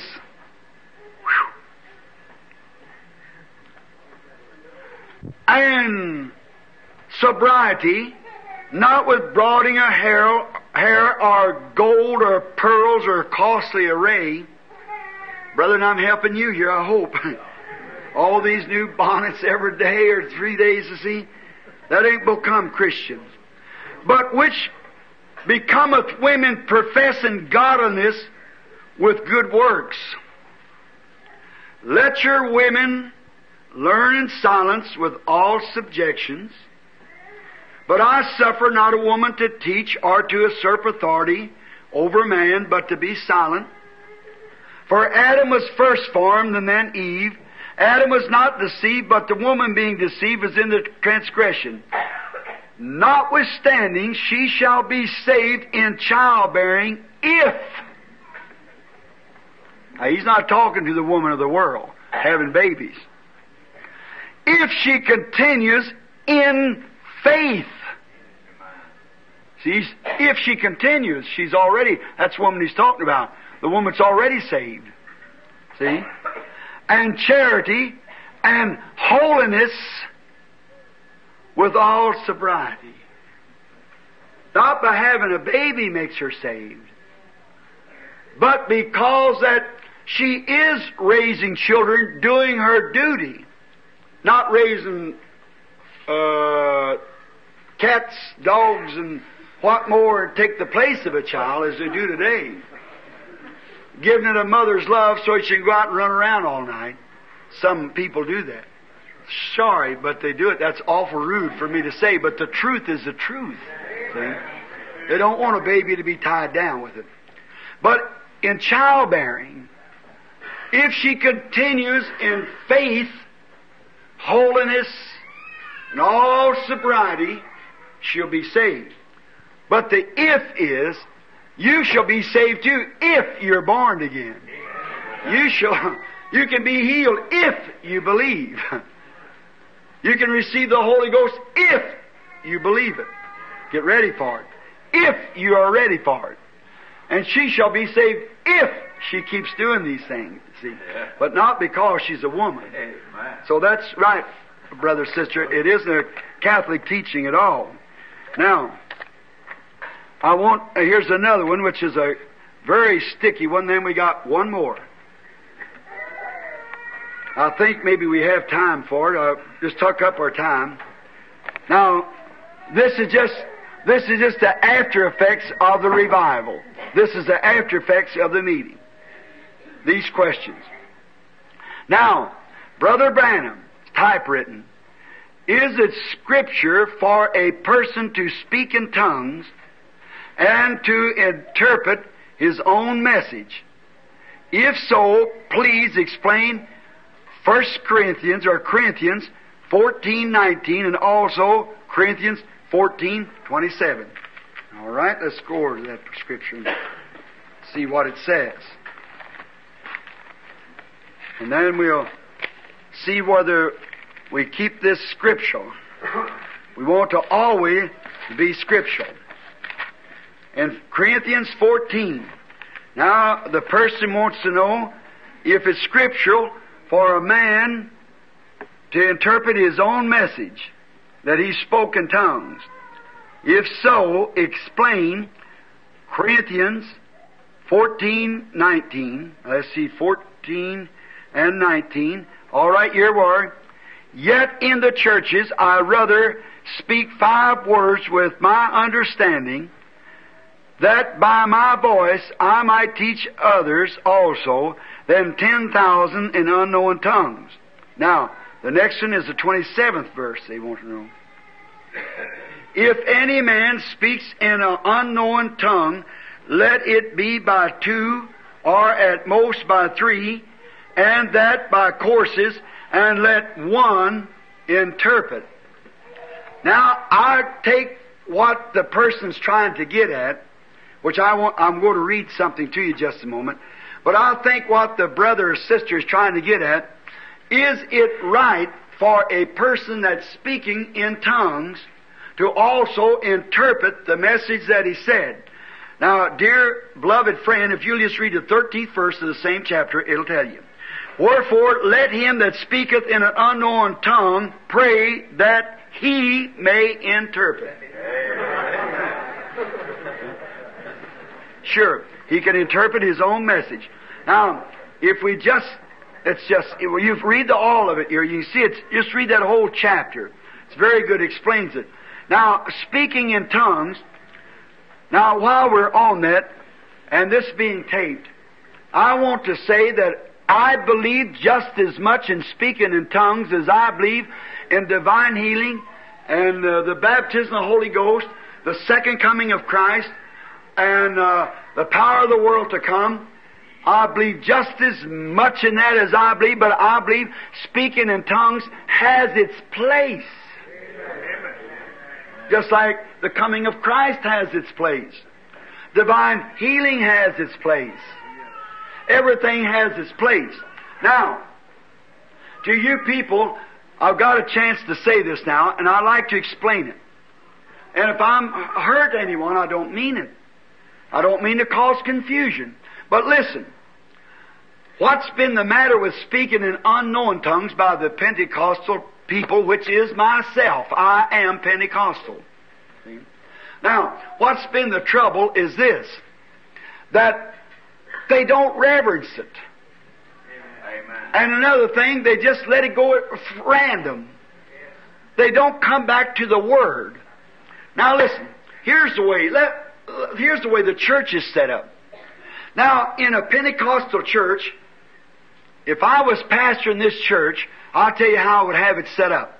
See, if I was a be here all the time to pastor, I would subscribe to every gift in the Bible to believers first to be baptized into the Holy Ghost, and then every gift of 1 Corinthians 12 would have to be operating in my church if I could get them in there. The whole body operating. Now, if you notice, not making remarks now, and remember, I wouldn't say one word contrary. I might blaspheme the Holy Ghost. And God knows I wouldn't say that wrong. See? But I'm only saying this to try to give you the view of the Scripture after studying it now for nearly 20 years. I've been preaching for nearly 30 years. And I've just been through everything, just pulled through. You can imagine what it's been like. And watching every man and their doctrine the world over and taking it because it's my interest. It's the interest of human beings besides myself. I've got to leave here. You've got to leave here. And if I go as a false prophet, I'll lose my own soul and lose yours with me. So it's more than it's more than daily bread. It's more than popularity. It's more than anything else. It's life to me. See? And I want to always be the very deepest of sincere. Now, you go into a Pentecostal church, the first thing, I don't mean all of them, some of them are, most time, you get into a church and start preaching. While you're preaching, someone will raise up and speak in tongues. Now, that dear person may be perfectly filled with the Holy Ghost, and that may be the Holy Ghost speaking through that person. But the thing of it is, they're untrained. If this minister at the platform is under inspiration speaking, the spirit of the prophets is subject to the prophet. See? Let all things be done. Now get over here in Paul, why it says that. When one speaks and so forth, when he come in, there's just a confusion. Now, I've been making an altar call, and someone raised up and speak in tongues. It just, well, you just might as well quit making the altar call. It stops it. See? And then another thing. A lot of times, people raise up and speak in tongues, and people say, chewing chewing gum, looking around. If God's a speaking, keep still, listen. Amen. If that's the truth, if that is the Holy Ghost speaking to that person, you sit still and listen, be reverent. The interpretation might come to you. See? Sit still, listen for an interpretation. Now, if there is no interpreter in the church, then they're supposed to hold their peace in the body. And then when they speak with an unknown tongue, the Bible said, let them speak to themselves, to them and God. He that speaks in an unknown tongue edifies himself. Now that's unknown tongues. Dialects, languages is different. There nothing he says. But what makes a sound has a meaning. But you, if a trumpet sounds, you've got to know what it sounds like. Just blow it, or you won't know how to prepare yourself for battle. If anyone's speaking in tongues and just toot, that's all there is to it. Who knows what to do? But if it starts to reveille, that means get up. If it blows the taps, that means get down. See? If it blows the charge, that means charge. It's got to give a meaning. And just not just speaking alone. So, in the church, if there is no interpreter, but that if there is an interpreter, then tongues are what belongs in the church. Now, to your question, dear friend, that says, I'd rather speak 5,000 uh, one, five words and, un, and so people can understand me than 5,000 or whatever more here it says uh, in unknown tongue. That's true. But read on down, except it be by revelation or by interpretation to edification. See? To edify. Now, I'll just kind of give you a little notion what if what if, if I was the pastor this church is coming. If God would call me to pastor, here's the way I'd run it. I'd try to find every person in there that had a gift. And I'd have those people to meet about an hour before the services ever started in a room to themselves. Let them sit under the Spirit. And the first thing you know, one comes down, he got a sp- gift of speaking in tongues. And he speaks in tongues. Everybody sits still. Then One raises up and interprets what he says. Now, before that can be given to the church, the Bible says it has to be judged between two or three witnesses. Now, that is man who has discernment of spirit. See? Because a lot of times evil powers gets in there. Paul spoke of it. But then God's power's in there too. Tell me a congregation where evil doesn't sit. Tell me where the sons of God are gathered together, Satan isn't in the midst of them. It's everything. So don't frown at that. See? Satan's everywhere. Now here we are. Someone speaks in tongues. Now these three sitting there that's got the, the spirit of discernment. And one speaks in tongues and gives a message. Now it cannot be quoting scripture. Because God don't use vain repetitions and He told us not to, see. So it isn't that, it's a message to the church. We've had two things in this revival so far. Watch what each one of them was. Perfect, right on the dot. See? Moved in. One man raised up and spoke in tongues and gave the interpretation, swung right back around and vindicated that message. It just went forth. The other one raised the other night and said under the inspiration of prophecy and said something not knowing what he was saying. And then at the end he spoke out, Blessed is he that cometh in the name of the Lord. Quickly something caught me right quick and said, Otherwise, blessed is he who believes that this is the Lord has come. Amen. See the interpret- Then the Holy Spirit fell in the building last night. Amen. See? That's for edification. I was standing there trying to tell the people that they must receive the Holy Ghost. And the devil had come in. Around the people said, "Oh, listen, sit still.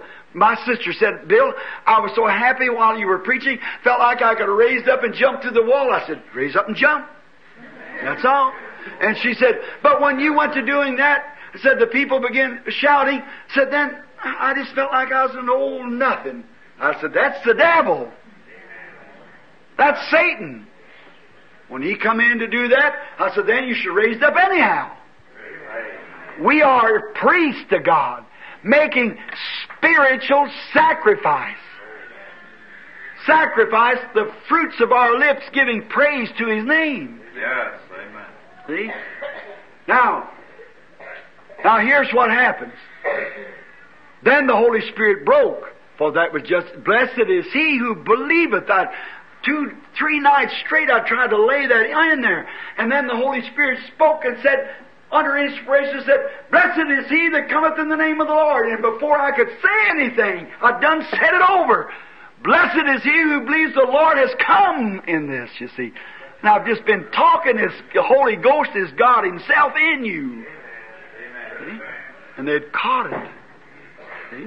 Then the Holy Ghost fell among the people. See how it edifies? Prophecy. Now there's a difference between prophecy and a prophet.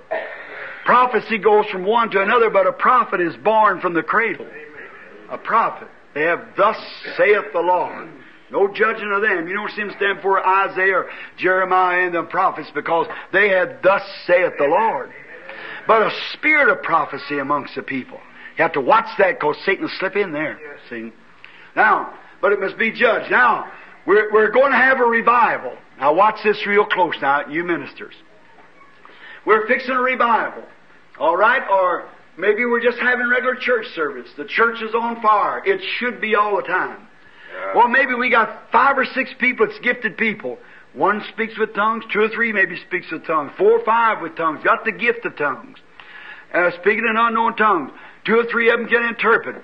Maybe there's one, two or three of them has got gifts of wisdom. All right? They all meet those gifted people.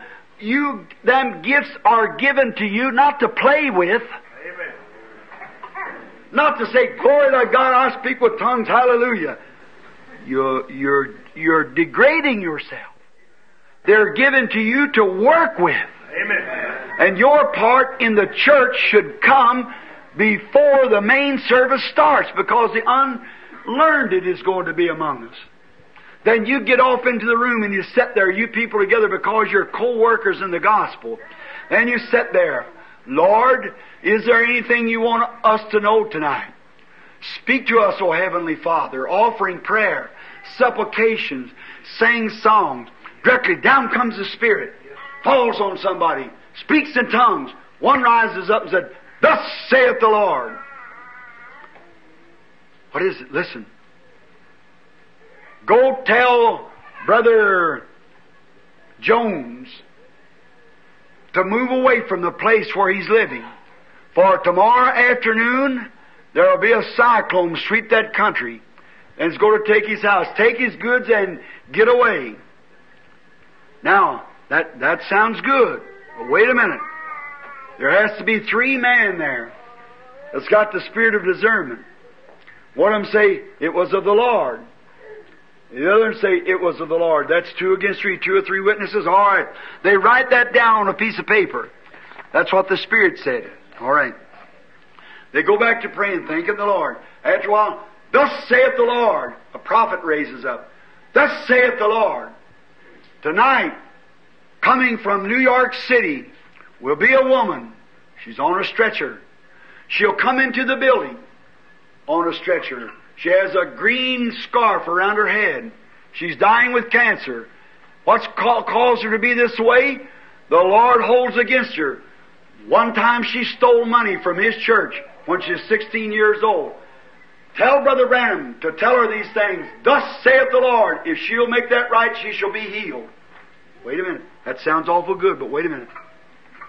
You go put your name on this paper, discerner. You go put your name. It was of the Lord. One said, It was of the Lord. Then, then you write it down. Thus saith the Lord. Tonight there'll be a woman come in, certain, certain thing. The one with the discernment of spirit, two or three of them sign their name to it. All these messages are given. All right.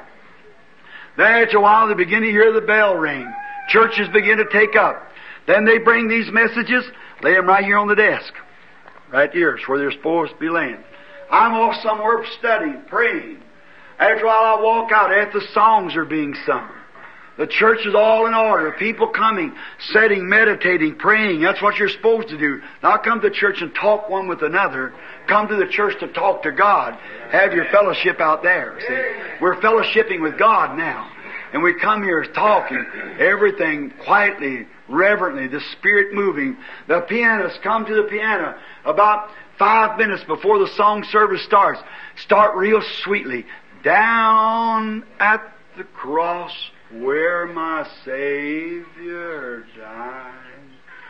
Down there for cleansing from sin, I cried. Or some good sweet song, real quietly. It brings the presence of the Holy Ghost into the meeting, see. All right. The people sitting there, some of them are real, start weeping, come up the altar, repent before the service ever starts. The Holy Spirit's there, see. The church is in travail. Christians are praying. They got their positions. I sat there chewing chewing gum. Said, "Hey, Liddy, give me some of your lipstick. I don't, you know, you know, honey. Did you know the other day when I was down there shopping? I tell you, I almost stepped on your toes. I never seen said, what do you think about that? Oh, mercy! And call it the house of God. Why, it's a disgrace. The body of Christ coming together. There we sit. The man sitting about, say, you know, when we went over there, this so and so and so and so and so, that's all right outside. But then here it's the house of God. Come in praying. Take your positions. I'm talking now not to your churches, brethren. I don't know what you do. I'm talking to this tabernacle. I'm talking to my own back door, see? That's right. Now, when you come in like that, then the first thing you know, the pastor walks out. He's freshly. You don't have to be answering this, that, and the other. He's coming right out of the, the dew of his ministry. He's been under the power of the Holy Spirit. He walks right into where more tongues of fire are gathered together. It's almost a pillar now. See? She's moving around.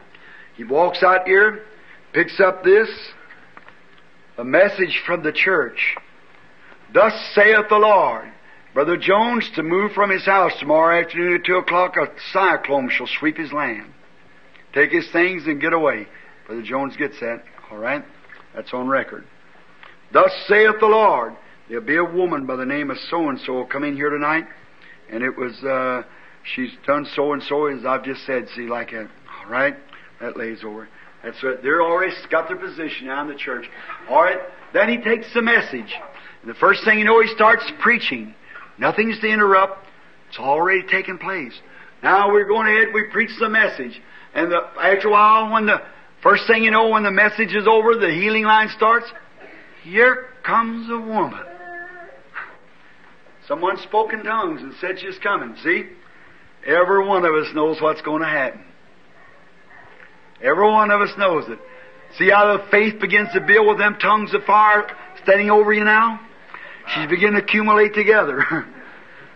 Why, it's just a finished work, that's all. That woman, I'd say Mrs. So and so from New York City sitting here. Hmm? Oh, that's right. How did you know that? It's a message from the Lord to the church.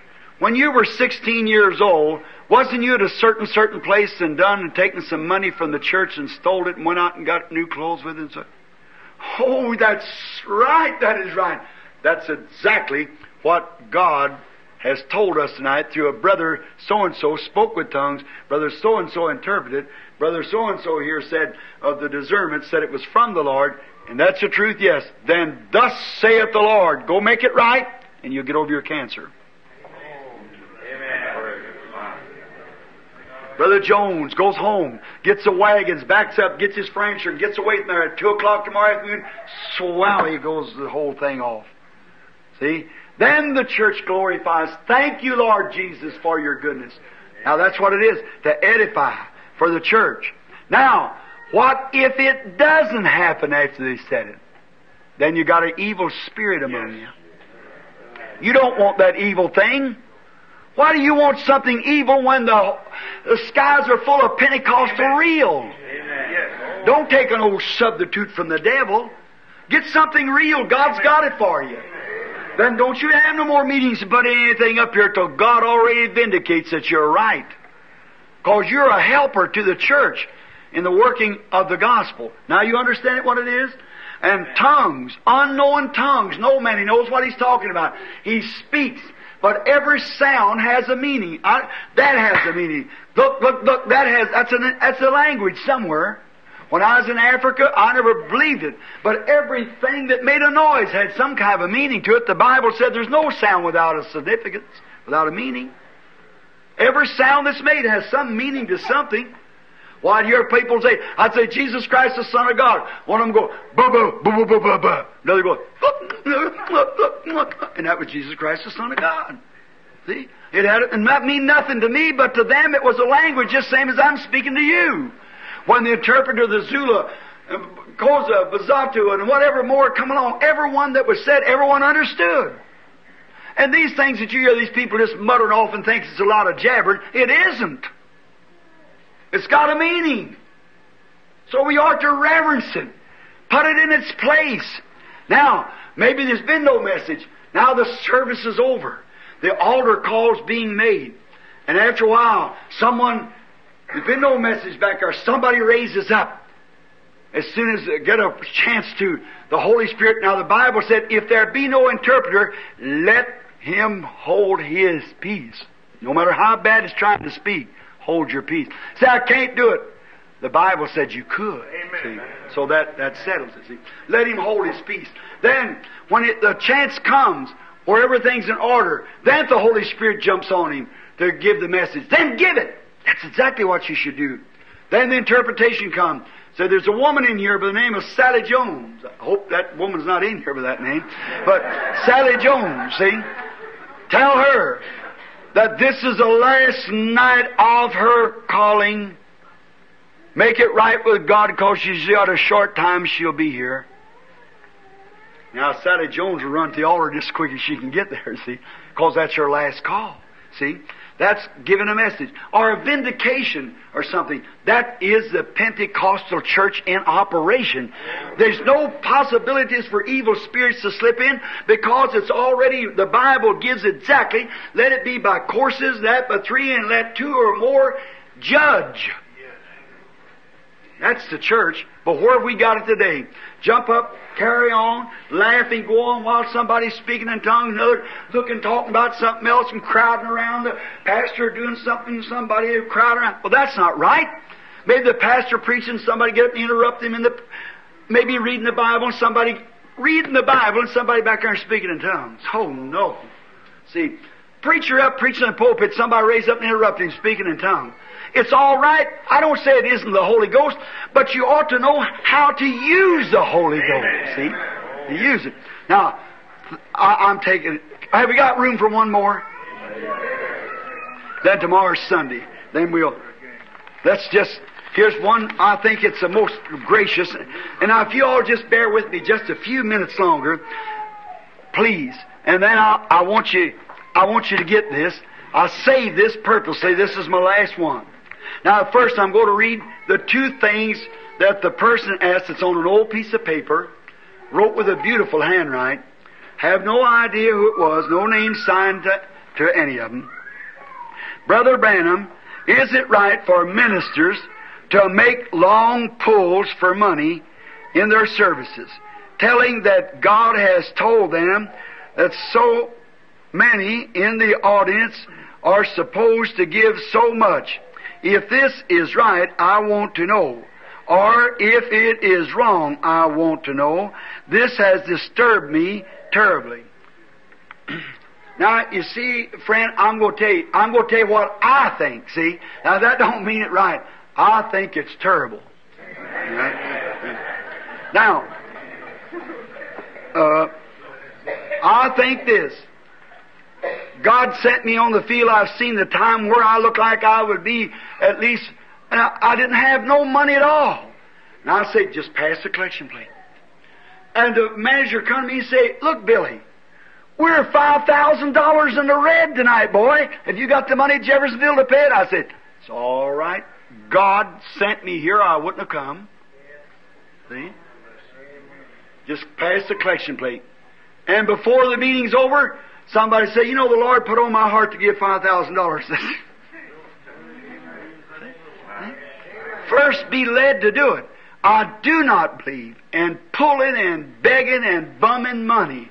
I think it's a wrong thing. Now, brother, if you do it, don't let me hurt your feelings. See, you, you might have the right away from God to do it, but I'm speaking just for myself. I do not believe in it.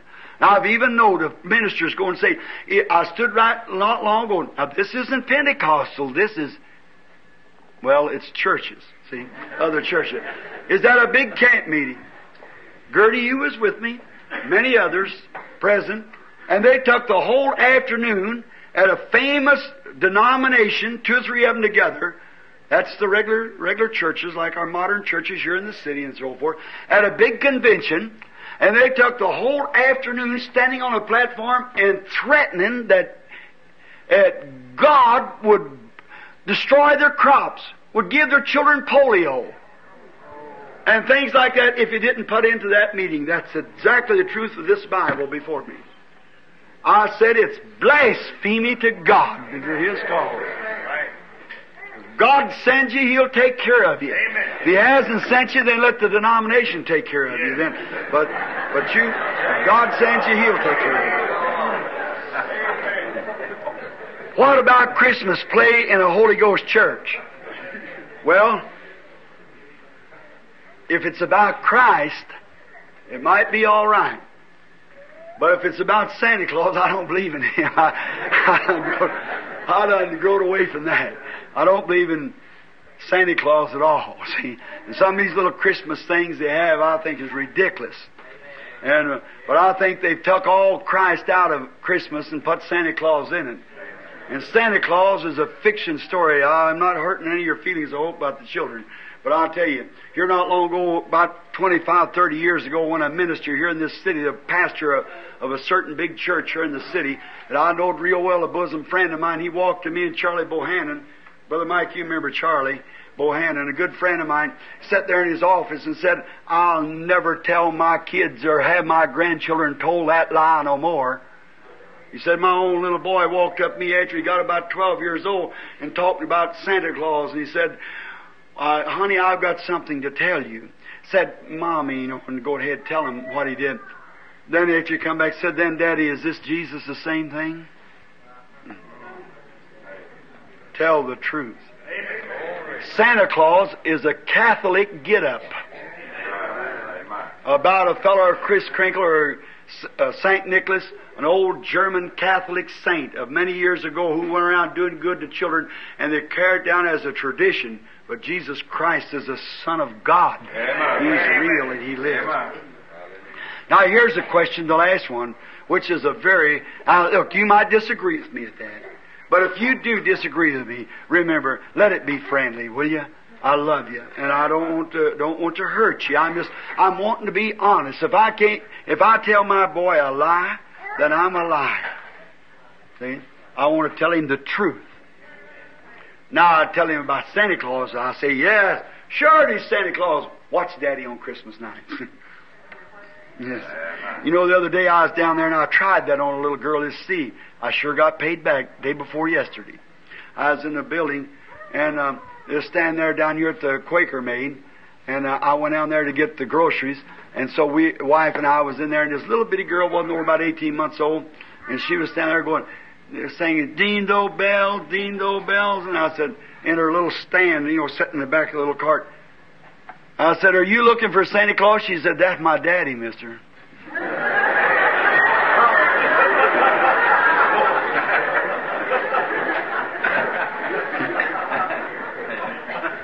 I said, bless your little heart, honey. You got wisdom.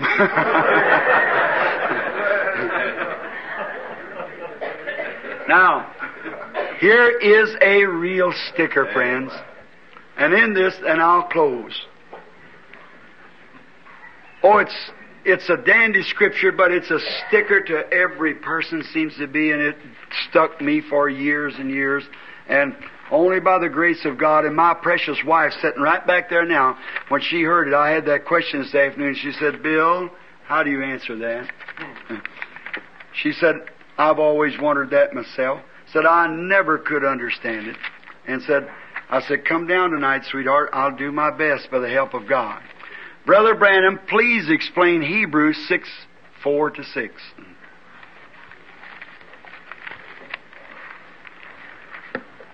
That's one time it really, see, now you have to watch here on our faith, grace, security of the believers, perseverance of the saints, perseverance rather of the saints. Hebrews, the sixth chapter, four to six. Now, as soon as it finished this, then I hope that God will help me to make it real clear to you. I'm sorry, I, I got a message for tonight. Maybe I'll preach the same thing in the morning at the, at the service. Then I'll be going. Now, this is a real sticker, thing. Now, you have to watch. I remember, we believe and teach at this church not that everything comes up and shouts, everything that speaks in tongues, everything that shake hands with the preacher has got eternal life. But we believe if you've got eternal life, if God has given you eternal life, you've got it forever. See? Because look, if it didn't, Jesus is a found a false teacher. And St. John 5.24, he said, He that heareth my words and believeth on him that sent me has everlasting life and shall never come to the judgment, but has passed from death unto life. Now argue with him. All the Father has given me. No man can come to me except the Father draws him. I'm quoting Scripture. All that comes, no man can come to me except my Father draws him first. And all that uh, my Father has given me will come to me. Amen. And all that comes to me, I'll give him everlasting life, St. John 6, and will raise him up at the last days. That's his words. Now look, if I want to go back to Ephesians, the first chapter, Paul preaching. Now the Corinthians, each one had a tongue and a psalm. You know, the other churches didn't have that trouble. He never said nothing about it. Did he ever mention tongues anywhere in the Ephesian church? The Roman church? No. They had tongues and everything, just like Corinthians did, but they had it set in order. The Corinthians just couldn't get it in order. See? But Paul went out there and set the church in order. Now, he, uh, I believe, as Oral Roberts says, God's a good God. Don't you believe that? And you say, well, what about the Pentecostals with the tongues then, Brother Branham? I think they got the Holy Ghost. Sure they did. All right, why? Look, you believe He's a good God? Thomas said one time, You know, Lord? All the rest of them believed Him, so, oh, we know He's real. Oh, Thomas said, No, no. I don't believe it. The only way I'll believe it, I'll have to have some evidence. I'll have to stick my fingers in His side and in the prints of nails in His hand. He's a good God. He said, Come on, Thomas. Here you are. Oh, Thomas said, Now I believe. He said, Yes, Thomas. After you see me and felt me and put my hand, your hands in my side, you believe. But how much greater is their reward who had never seen and yet believed? Amen. He's a good God. He gives you the desire of your heart, of course. But let's just believe Him. That's the that's the that's the death stroke to Satan. When a man takes God at His word. Brother, that'll kill Satan every time. That's the hardest hit that Satan can get when a man will take God at his word. Amen. As I said, man shall not live alone, Jesus but every word that proceedeth out. Now, notice this. Now I'm going to start the first verse. Therefore, leaving the principles of the doctrine of Christ, let us go on to perfection. Now, the first thing I want you to know, who is Paul talking to here? Hebrews.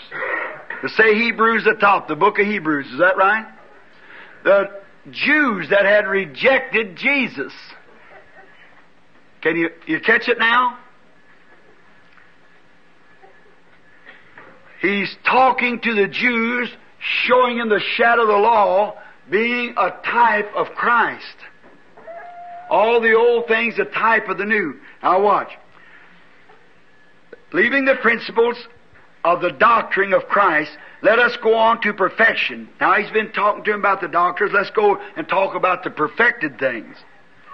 Now you are perfected in God when you're sealed by the Holy Ghost until the day of your redemption. He that is born of God, 1 John, does not commit sin, for he cannot sin, for the seed of God remains in him. A man that's filled with the Holy Ghost, not thinks he's filled, but he that's born of the Spirit of God does not commit sin, for the seed of God is in him and he cannot sin. See? Does the Bible say that? So there it is. You are not what you do, what is what not what the world thinks of you, it's what God thinks of you. See? See? You cannot how can I have an order written by the mayor of the city that I can run forty miles an hour through the city and any policeman arrest me? I can't. How can I sin when there's a blood offering before God constantly where He can't even see me? When there's a bumper on the on the uh, before me and God, a shield of blood, for we are dead and our life is hid in Christ through God, sealed by the Holy Ghost. How in the world can you do anything wrong in the sight of God? If we sin willfully, Hebrews 10, after we receive the knowledge of the truth, there's no more sacrifice for sin. In here it's impossible, see, to sin willfully. Now let's go ahead and read. All right. Perfection, not laying again the foundation of, of uh, repentance from dead works and faith towards God, of the doctrine of baptisms, laying on of hands, and of the resurrection of the dead and eternal judgment. And this we do if God permit. Now here's where they want to start from the fourth verse. For it is impossible for those once enlightened and have tasted of the heavenly gift and were made partakers of the Holy Ghost and have tasted of the good Word of God and the powers of the world to come, if they shall fall away to renew renew them again unto repentance, seeing they crucify to themselves the Son of God afresh and put him to an open shame.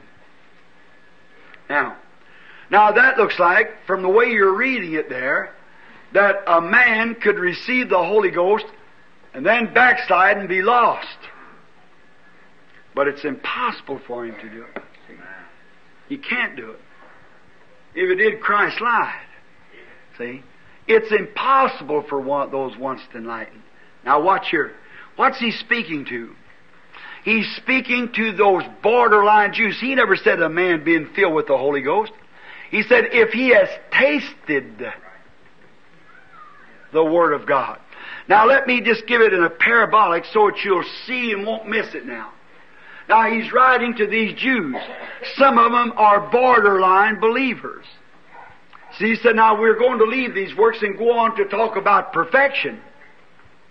Said, now we're talk about baptisms and resurrection of the dead and laying on the hands and everything. But let's go ahead now to talk about perfection. Now we're going to talk about when you come into the Holy Ghost.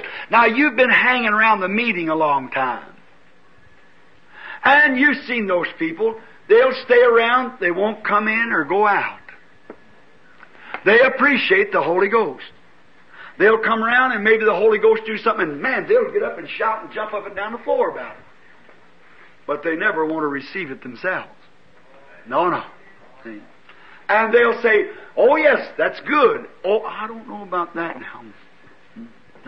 See, borderline believers. Just so close to they can taste it, but yet they don't receive it. See? Now, they hang around like that so long till after a while they drift completely away. I can call names of many who was at the tabernacle done the same thing. Fall all the way away again to renew themselves unto repentance. There's no repentance for them. They've just grieved the Spirit away from them. They've been so close to here. If you would turn with me, you don't have time, I know now, but if you would turn to Deuteronomy, the first chapter, and read it, you'll get the same thing. Marking it down. Now, Deuteronomy, the first chapter. Now, and begin at the 19th verse and read through to the 26th. Deuteronomy. You'll find out. Now look. All of Israel, what them people do, they come to Kadesh Barnea. Oh, I see something. Amen. This tabernacle, this Pentecostal world is at Kadesh Barnea right now. That's exactly right, Brother Neil. Oh, We're at Kadesh Barnea, the judgment seat of the world. Was the judgment seat. And spies went out. Joshua said here, now I sent spies, or Moses rather, I sent spies, twelve, one of one man out of each one of your tribes. I sent them to spy out the land and bring back a report. Is that right? And when they come back, there was nine out of the twelve said, Oh, it's a good land, but oh, mercy, we can't take it. Oh, my. The Amorites are there, and we look like grasshoppers up the side of them. They're armed men. Their walls are big. Oh, it's too, why I wish we'd have died down there in Egypt instead of you bringing us out here. But little old Caleb and Joshua jumped up there and quieted them. Said, we're more than able to take it. Yes, sir. There's the one. Now look. What happened? Che, Caleb and Joshua knew that God gave the promise of it. I don't care how big it is, how much the obstacles are, how high they are, how great they are. That don't have nothing to do with it. God said so. We can take it. And do you know they were the only two people out of that two and a half million that ever crossed into the land? Because they held their faith in what God said to be the truth. Amen. The tabernacle right now stands at Kadesh Barnea. Look, them people was so close to they even tasted the grapes out of the land. They eat the grapes. When Caleb and them went over and brought back the grapes, them fellows pulled off some and eat them. Oh, they're good, but we can't do it. They that have tasted the good work of God, have tasted of the Holy Spirit, seen the goodness of it, tasted of it, has tasted of the Word of God. See that? None of them men, not one of them ever was permitted to go over. They perished in their own land, over here in the wilderness. They never went over yet they was close enough to taste it. But not enough grace and faith to take it. Amen. Amen. That's what it is. Now, now listen to that dear person that wrote this letter. Let's just read the next verse. Watch just a minute. Watch Paul. Now let's read the seventh. For the earth drinketh in the rain that cometh off upon it, and bringeth forth herbs, meats for them to whom it is dressed, receiveth blessings from God. But that which beareth thorns and briars is rejected, and is nigh unto cursing, whose end is to be burned. Now, see what he says? Now watch. There was this question here. Now, and then we'll close. This thing like to kill me for years. I went to a meeting one time where people were speaking with tongues at Mishawaka, Indiana. Now I'm before my own crowd. You've heard them people, heard me tell my life story, and about the colored man that said, here he is, here he is. And I told that. But the rest of it, I seen two men. They were one to give a message, another to interpret it. The other to give a message, the other to interpret it. And brother, they was correct. Just to, I thought, my goodness, I never seen anything like that. I said, I'm amongst angels. I thought I'd never seen anything. One to speak and the other one, and I'd sit back there as a little old preacher, you know, those men sometimes, and shake their hand. I'd never seen such a man in my life. They'd speak a message, the other one would interpret it, and my, my, it was wonderful. One would speak, the other would interpret, both, and they just turned chalky white when they'd raise their hands up. I thought, oh my, my, where have I been all my life? This is the thing. I said, my Pentecostals are right. It's exactly right. I never seen much of this what was right down around in here where maybe a couple of women with a mission somewhere, they'd be fussing one, calling the other buzzard roosting, you know, just like that, kind of fussing one another. Not no disregarding to the women now or nothing, but just, uh, it was on the low ebb of any of you. You remember Brother Graham, he was just a little boy at that time. And so, that's the way it was. And I listened to that, and I thought, oh my, I've hit angels. One day coming around the corner of the house, about second day, I met one of the men. I said, How do you do, sir? He said, How do you do? He said, Are um, what's your name? And I said, Branham. He said, Where are you from? Here? And I said, No, I'm from uh, Jeffersonville.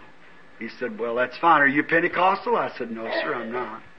I said, I just don't accept the Pentecostal way of receiving the Holy Spirit. I said, However, I said, I'm here to learn. He said, Well, that's mighty nice and talking to him, catching his spirit like the woman at the well. He was a real Christian. Brother, I mean, he rung out all right. He was good. Now, you all, how many's been in my meetings and see those things happen, you see? And the man was perfectly all right. So then I, I thought, there, my, how wonderful. About that evening, afternoon sometime, I met the other one. I said, how do you do, sir? He said, how do you do? What's your name? I told him. And he said, um, uh, are, you, are you a Pentecostal? I said, no, sir, not exactly Pentecostal, don't guess. I said, I'm just up here to learn. He said, I said, he said, you ever got the Holy Ghost? I said, I don't know. I said, according to what you all got, I guess I haven't. And he said, ever spoken tongues? I said, no, sir. He said, then you haven't had it. I said, well, I guess that's right. I said, I don't know. I've just been preaching about two years less. And I said, I don't know too much about it. I said, maybe I don't know. I said, I can't understand. Because what I was trying to hold him there, see, to catch it. And when it did, if I ever met a hypocrite, there was one of them. His wife was black-headed. He was living with a blonde-headed woman, had two children by her. And speaking in tongues, interpreting it just as perfect as it could be. And I said, Now, Lord, what have I got into? From angels, I didn't know what I was into.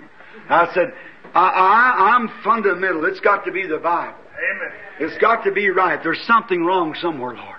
How could that be? I went to meeting that night, and that Spirit would fall, and brother, you could feel it. That it was the Holy Spirit. Yes, sir.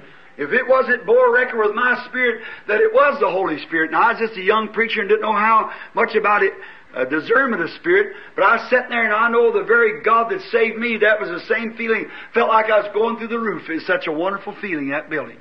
And I thought, about 1,500 of them there. I thought, my, oh my, two or three bunches of them met together.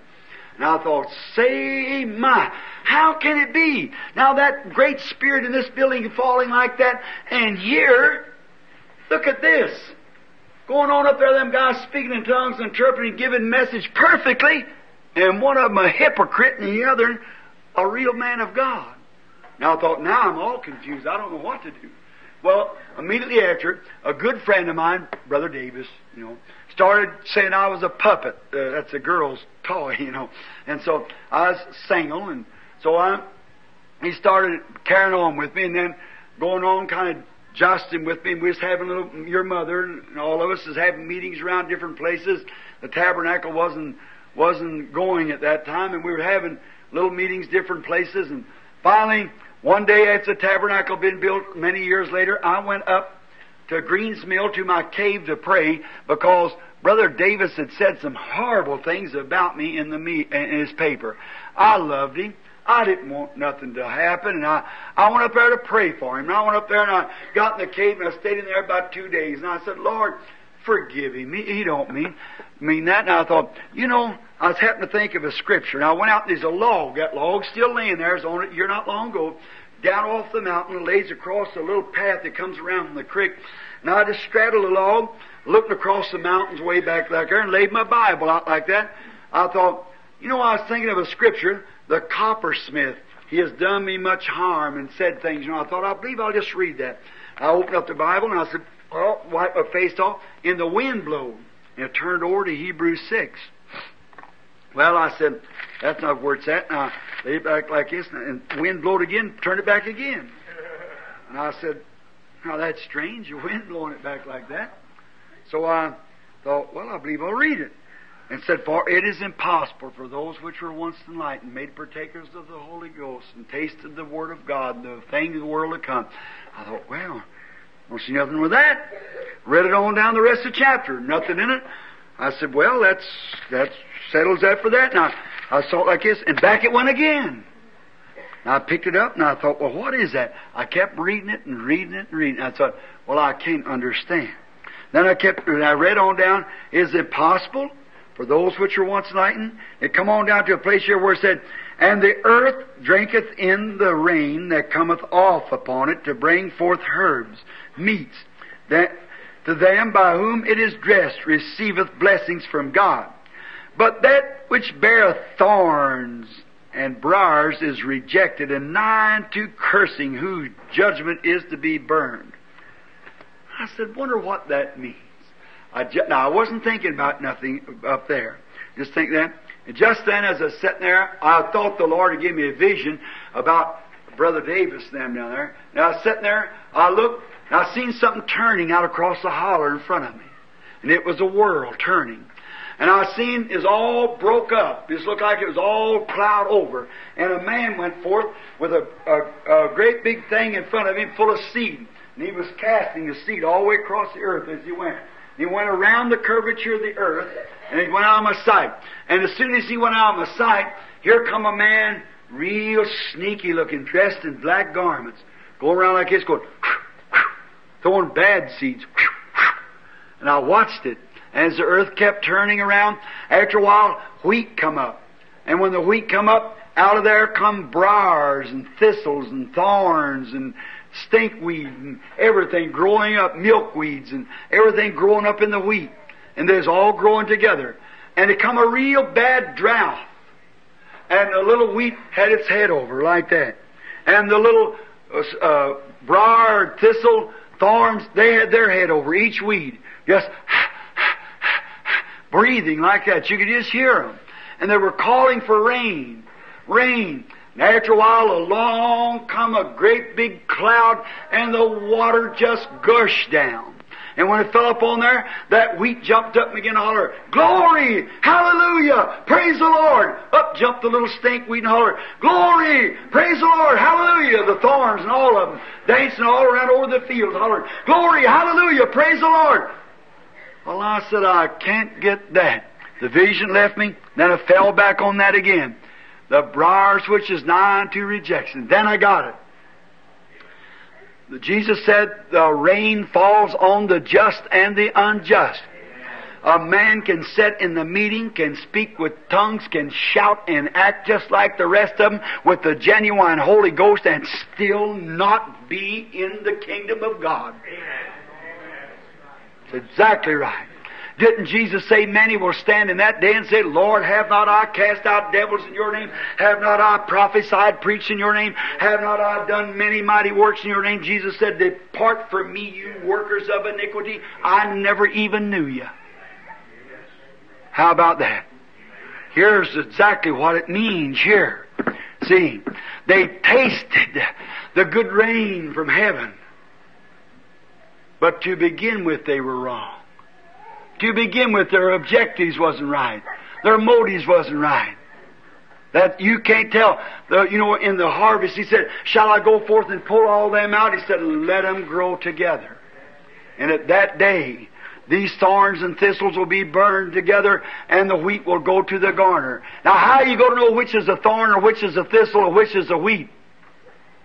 By their fruit. You shall know them. You see, brother, sister, a good tree cannot bring forth bad fruit. No matter, somewhere along the road, it's going to catch up with you. So you in seeking the baptism of the Holy Ghost, I'm glad ever who wrote that, see.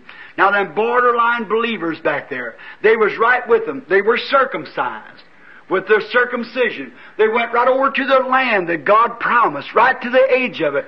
Uh, many a man walks up to that age. He'll walk right up to the baptism of the Holy Ghost and reject it. He don't want to give it up. He'll walk right up to the scripture baptism in the name of Jesus Christ and turn his back and reject it to keep from seeing it. There's not one scripture in all the Bible where anybody was ever baptized in the name of Father, Son, Holy Ghost. Not one scripture. The Catholic Church started, come out in Luther down in West Indies, pulled on through to here. Exactly right. But the scriptural order is the name of the Lord Jesus Christ. That's apostolic baptism. You can't do that in a denomination. That's right. Now, you see those things? The baptism of the Holy Spirit, the gifts of the Spirit, the things that God brings forth. The fruit of the Spirit is love, joy, long suffering. Oh, you say, but Brother Branham, bless God, I'm long suffering. It seemed like it. I went up to Ohio here not long ago, and somebody asked me, wrote a letter down here and asked me if I baptized people in the name of Jesus Christ. I never said a word. They found it out anyhow. And 16 cooperating ministers pulled away. That's long suffering, isn't it? Yeah. Long suffering. Goodness, meekness, gentleness, patience, and the Holy Ghost. Oh, brother, sister, we're, we're at Kadesh Barnea. Yes. You're tasting now. Last night the Holy Spirit fell upon us, coming us in like a rushing wind. It's settled upon many of you. Today, ministers have been visiting homes here and there, laying on hands and praying for them that's seeking the Holy Ghost. Don't you take a substitute. Don't you take some kind of a noise. Don't you take some kind of a sensation. You wait there until God has molded you and made you a new creature, made you a new person. You're tasting it now.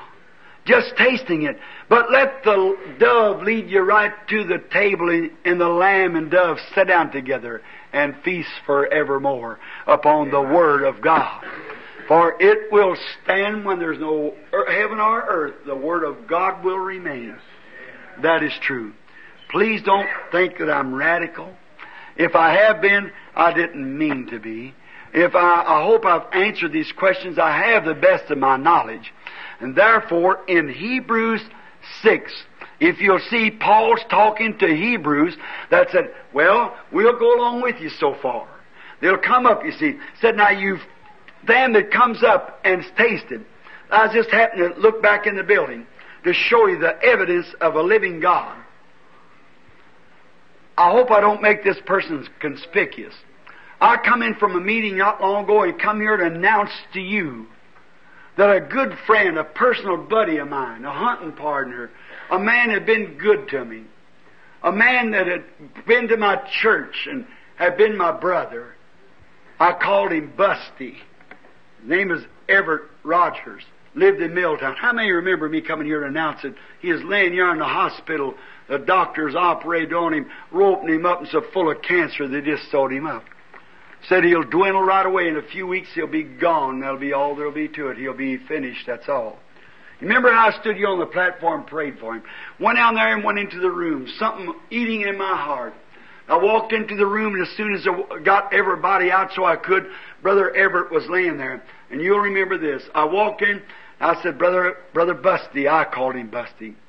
Long ago when we was having Brush Harbor meetings down there, all them Methodists back over there on the hill, Gertie, one of them, slipping around, peeping through the grape harbor to see what I was going to say. And like that, afraid that the Methodist Church would excommunicate them. And then I went and had a vision there, and I seen meat all piled up in a can. I caught a bunch of fish and strung them on, put, put them up on these stringers, and I tied the stringers up. And when I looked, and it was all in a vision. I'd left it, left a bunch of people standing under a brush harbor that night and went up on top of the hill at Brother Wright's. They couldn't even find me the next morning. I said, don't none of you, while I was standing there preaching, here come that light, that pillar of fire hung right here before me and says, leave here and go to the woods, I'll talk to you.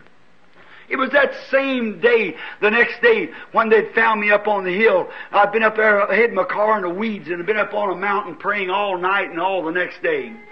Some of them come up there, found the car, come up there. That's the day that Brother Graham Snelling here received the Holy Ghost and the call into the ministry. Up there on the hillside where I've been laying there, and he, he told me different things to do and what the communication we'd had together. He gave a vision of seeing these fish strung up, said, this is your Milltown church. And four or five of them flopped off. I said, who's that? Said, one of them is Guy Spencer and his wife. The other one is another Spencer there and theirs, and told the different ones what would flop off. I told him, I said, don't none of you eat. My wife and I wasn't before we was married. And she went home to stay all night with Sister Spencer, a wonderful woman. Wonderful man. Guy Spencer just as nice a man as stood in shoe leather. And he, and he went down there and Opal said, now look, to Meady, she said, now Meady, I believe Brother Bill. She said, but when Opal gets hungry, she has to have ham and eggs. So she goes over there and fries her ham and eggs and sits down to eat them and starts to say the blessing and leaned over the table crying, couldn't touch him. Then they come hunting. And up there on the hill that day, he told me exactly what would happen. He said, these will leave, and then these will leave. But he had a big bunch of canned up meat. He said, keep this for farther use for the Milltown people. And the other night, when I heard Brother Creech, he was sitting here last night. I don't, Brother Creech, you in tonight? When Brother Creech come to me and called me up, and Sister Creech crying, her daddy was laying there said, Brother Bill, don't tell him. He's dying. Said he's eat up with cancer. The doctors opened him up and he's just as full of cancer as he can be. And Will Hall, and all of you remember him. When the same doctor opened him and he's so full of cancer, I started to go squirrel hunting that morning and I seen them apples hanging in the room. You remember the story of it? And there the man's a living today. That's been years ago. He and Brother Busty were friends. And I went down to the hospital, the new hospital, forget what they call it out there in New Albany, the new hospital. And I went out there to see Busty, and when I went in the room, I said, Brother Busty, he said, Brother Bill, gripped my hand, that big old handshake, a veteran of the First World War, not saying it in his presence, but just as fine a heart as ever beat under an old blue shirt. You gotta hold my hand. I've been at his house, eat at his house, slept in his house, just like I was his brother, his kids and all. We're just, just blood brothers, like fine man. And he, but he never did come on with the Lord deep. He, I baptized him in the name of Jesus Christ. But that day when that Methodist preacher said, anybody that's baptized in the name of Jesus Christ, get out from under my tent. That was okay. George Wright and them walked out. That afternoon I went down there to baptize in the name of Jesus Christ at Tottenford. His whole congregation walked in the water and baptized in the name of Jesus Christ. So I just went on. That's all right. God be for you. Who can be against you? I don't even know where the man went. What happened to him? However, I walked in the hospital. There was Busty laying there, so full of cancer, the doctors wouldn't even, you know, but just clamp him back together. Busty said to me, he said, Brother Bill, this was for a purpose. Something happened. I said, Yes, Busty. You're going to feel that spirit, like that rushing wind I've been talking about, you coming in. He said, when I walked in here, there was a rainbow in that corner. Standing in that corner. A rainbow is a covenant. God's covenant. God made a covenant with me on that mountain that day. Put my hands over on Brother Busty and prayed for him. The doctor says he'll dwindle away. He'll just go down. There's nothing to it. He'll be gone just in a few days. And Busty Rogers, that's been weeks and weeks and weeks ago. And Busty Rogers sitting right back here in the church tonight, healthy and stout as I ever seen him look in my life. Stand up, Brother Busty. There he is. Amen. Let's give God praise.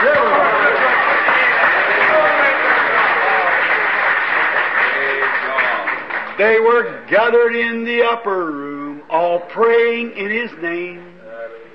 Baptized with the Holy Ghost, and power for service came. Now, what He did for them that day, He'll do for you the same. I'm so glad that I can say I'm one of them.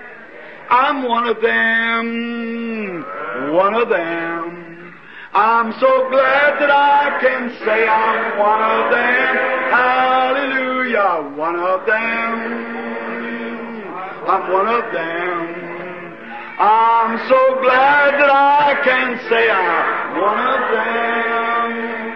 them. Though these people may not claim to be or boast of worldly fame, they have all received their Pentecost baptized in Jesus' name. And they're telling now both far and wide, His power is yet the same. I'm so glad that I can say I'm one of them. I'm one of them. I'm one of them. I'm so glad that I can say I'm one of them. Hallelujah, one of them.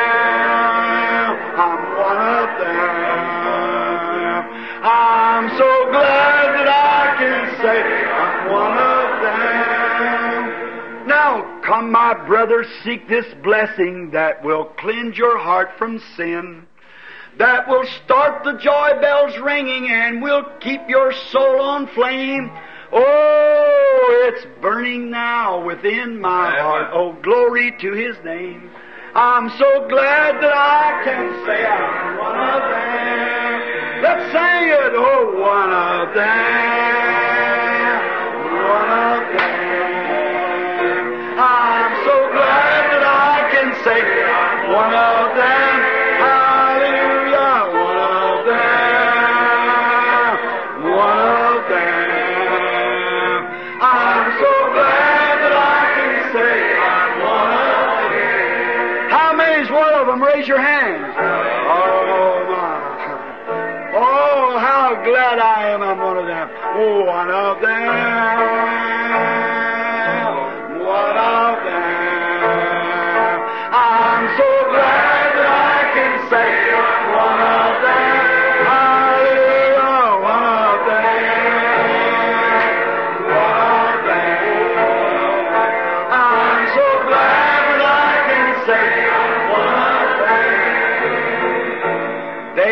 Gathered in that upper room, all praying in His name.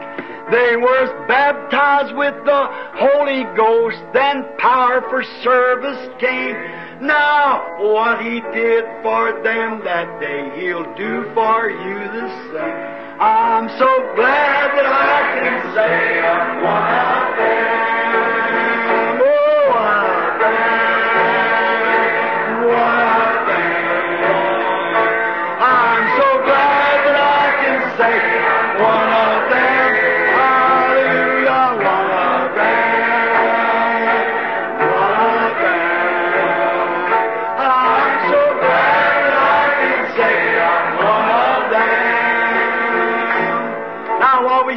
Chorus again, I want each one of you to turn around and shake hands with somebody by you and say, Are you one of them? See? All right. Oh, of them. I know you are.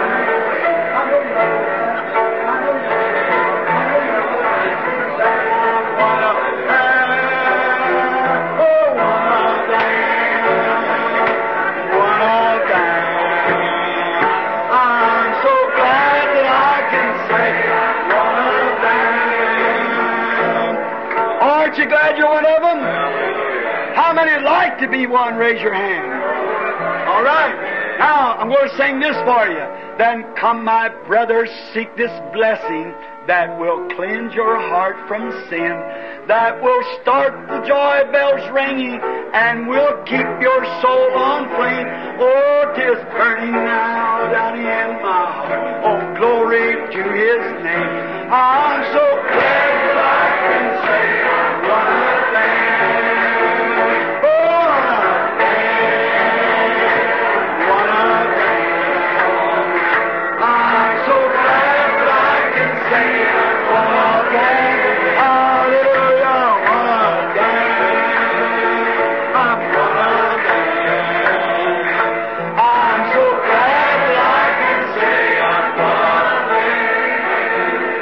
the little girl said, Peter? Aren't you one of them? I'm so glad, aren't you?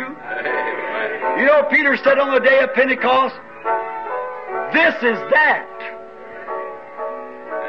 And I've always said, if this ain't that, I'm glad I got this waiting for that to come. That's right. I'm glad of this, for I'm one of them.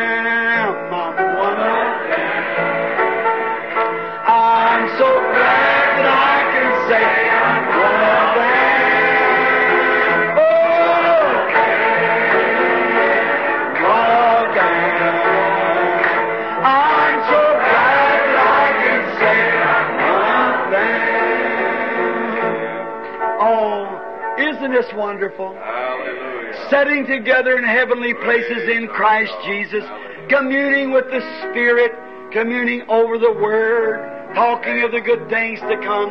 So good. I'm so glad to know that, aren't you?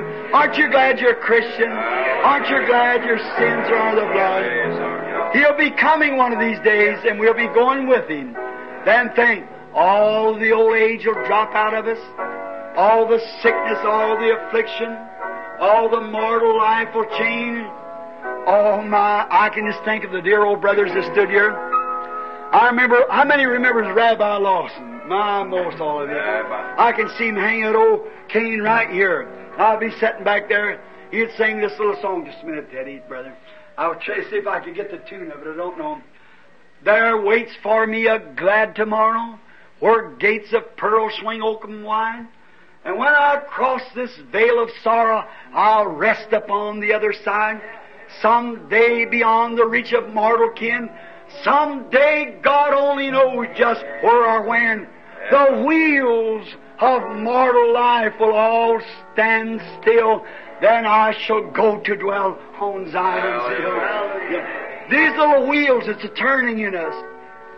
See, taste, feel, smell, and hear. These little senses and wheels is turning in this mortal life. Someday they'll stand still.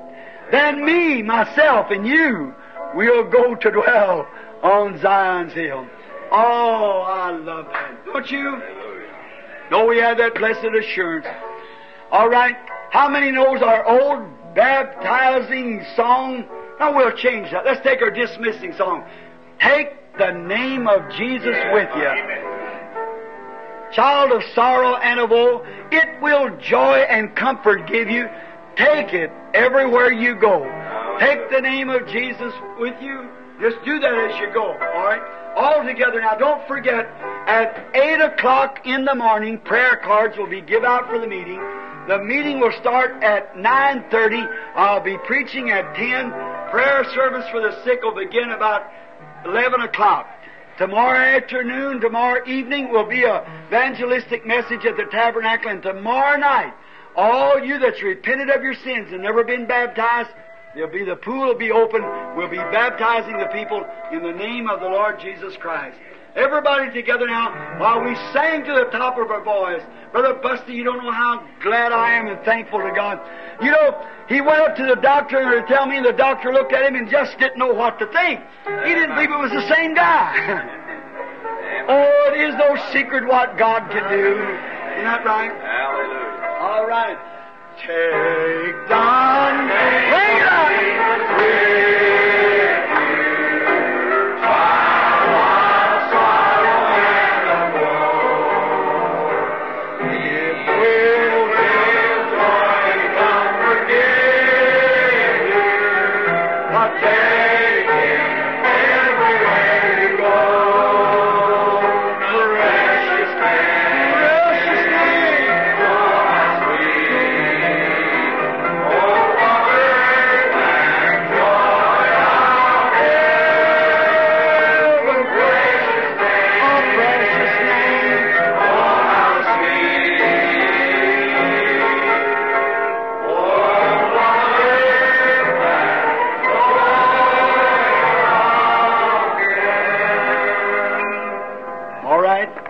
turn the service now to the pastor.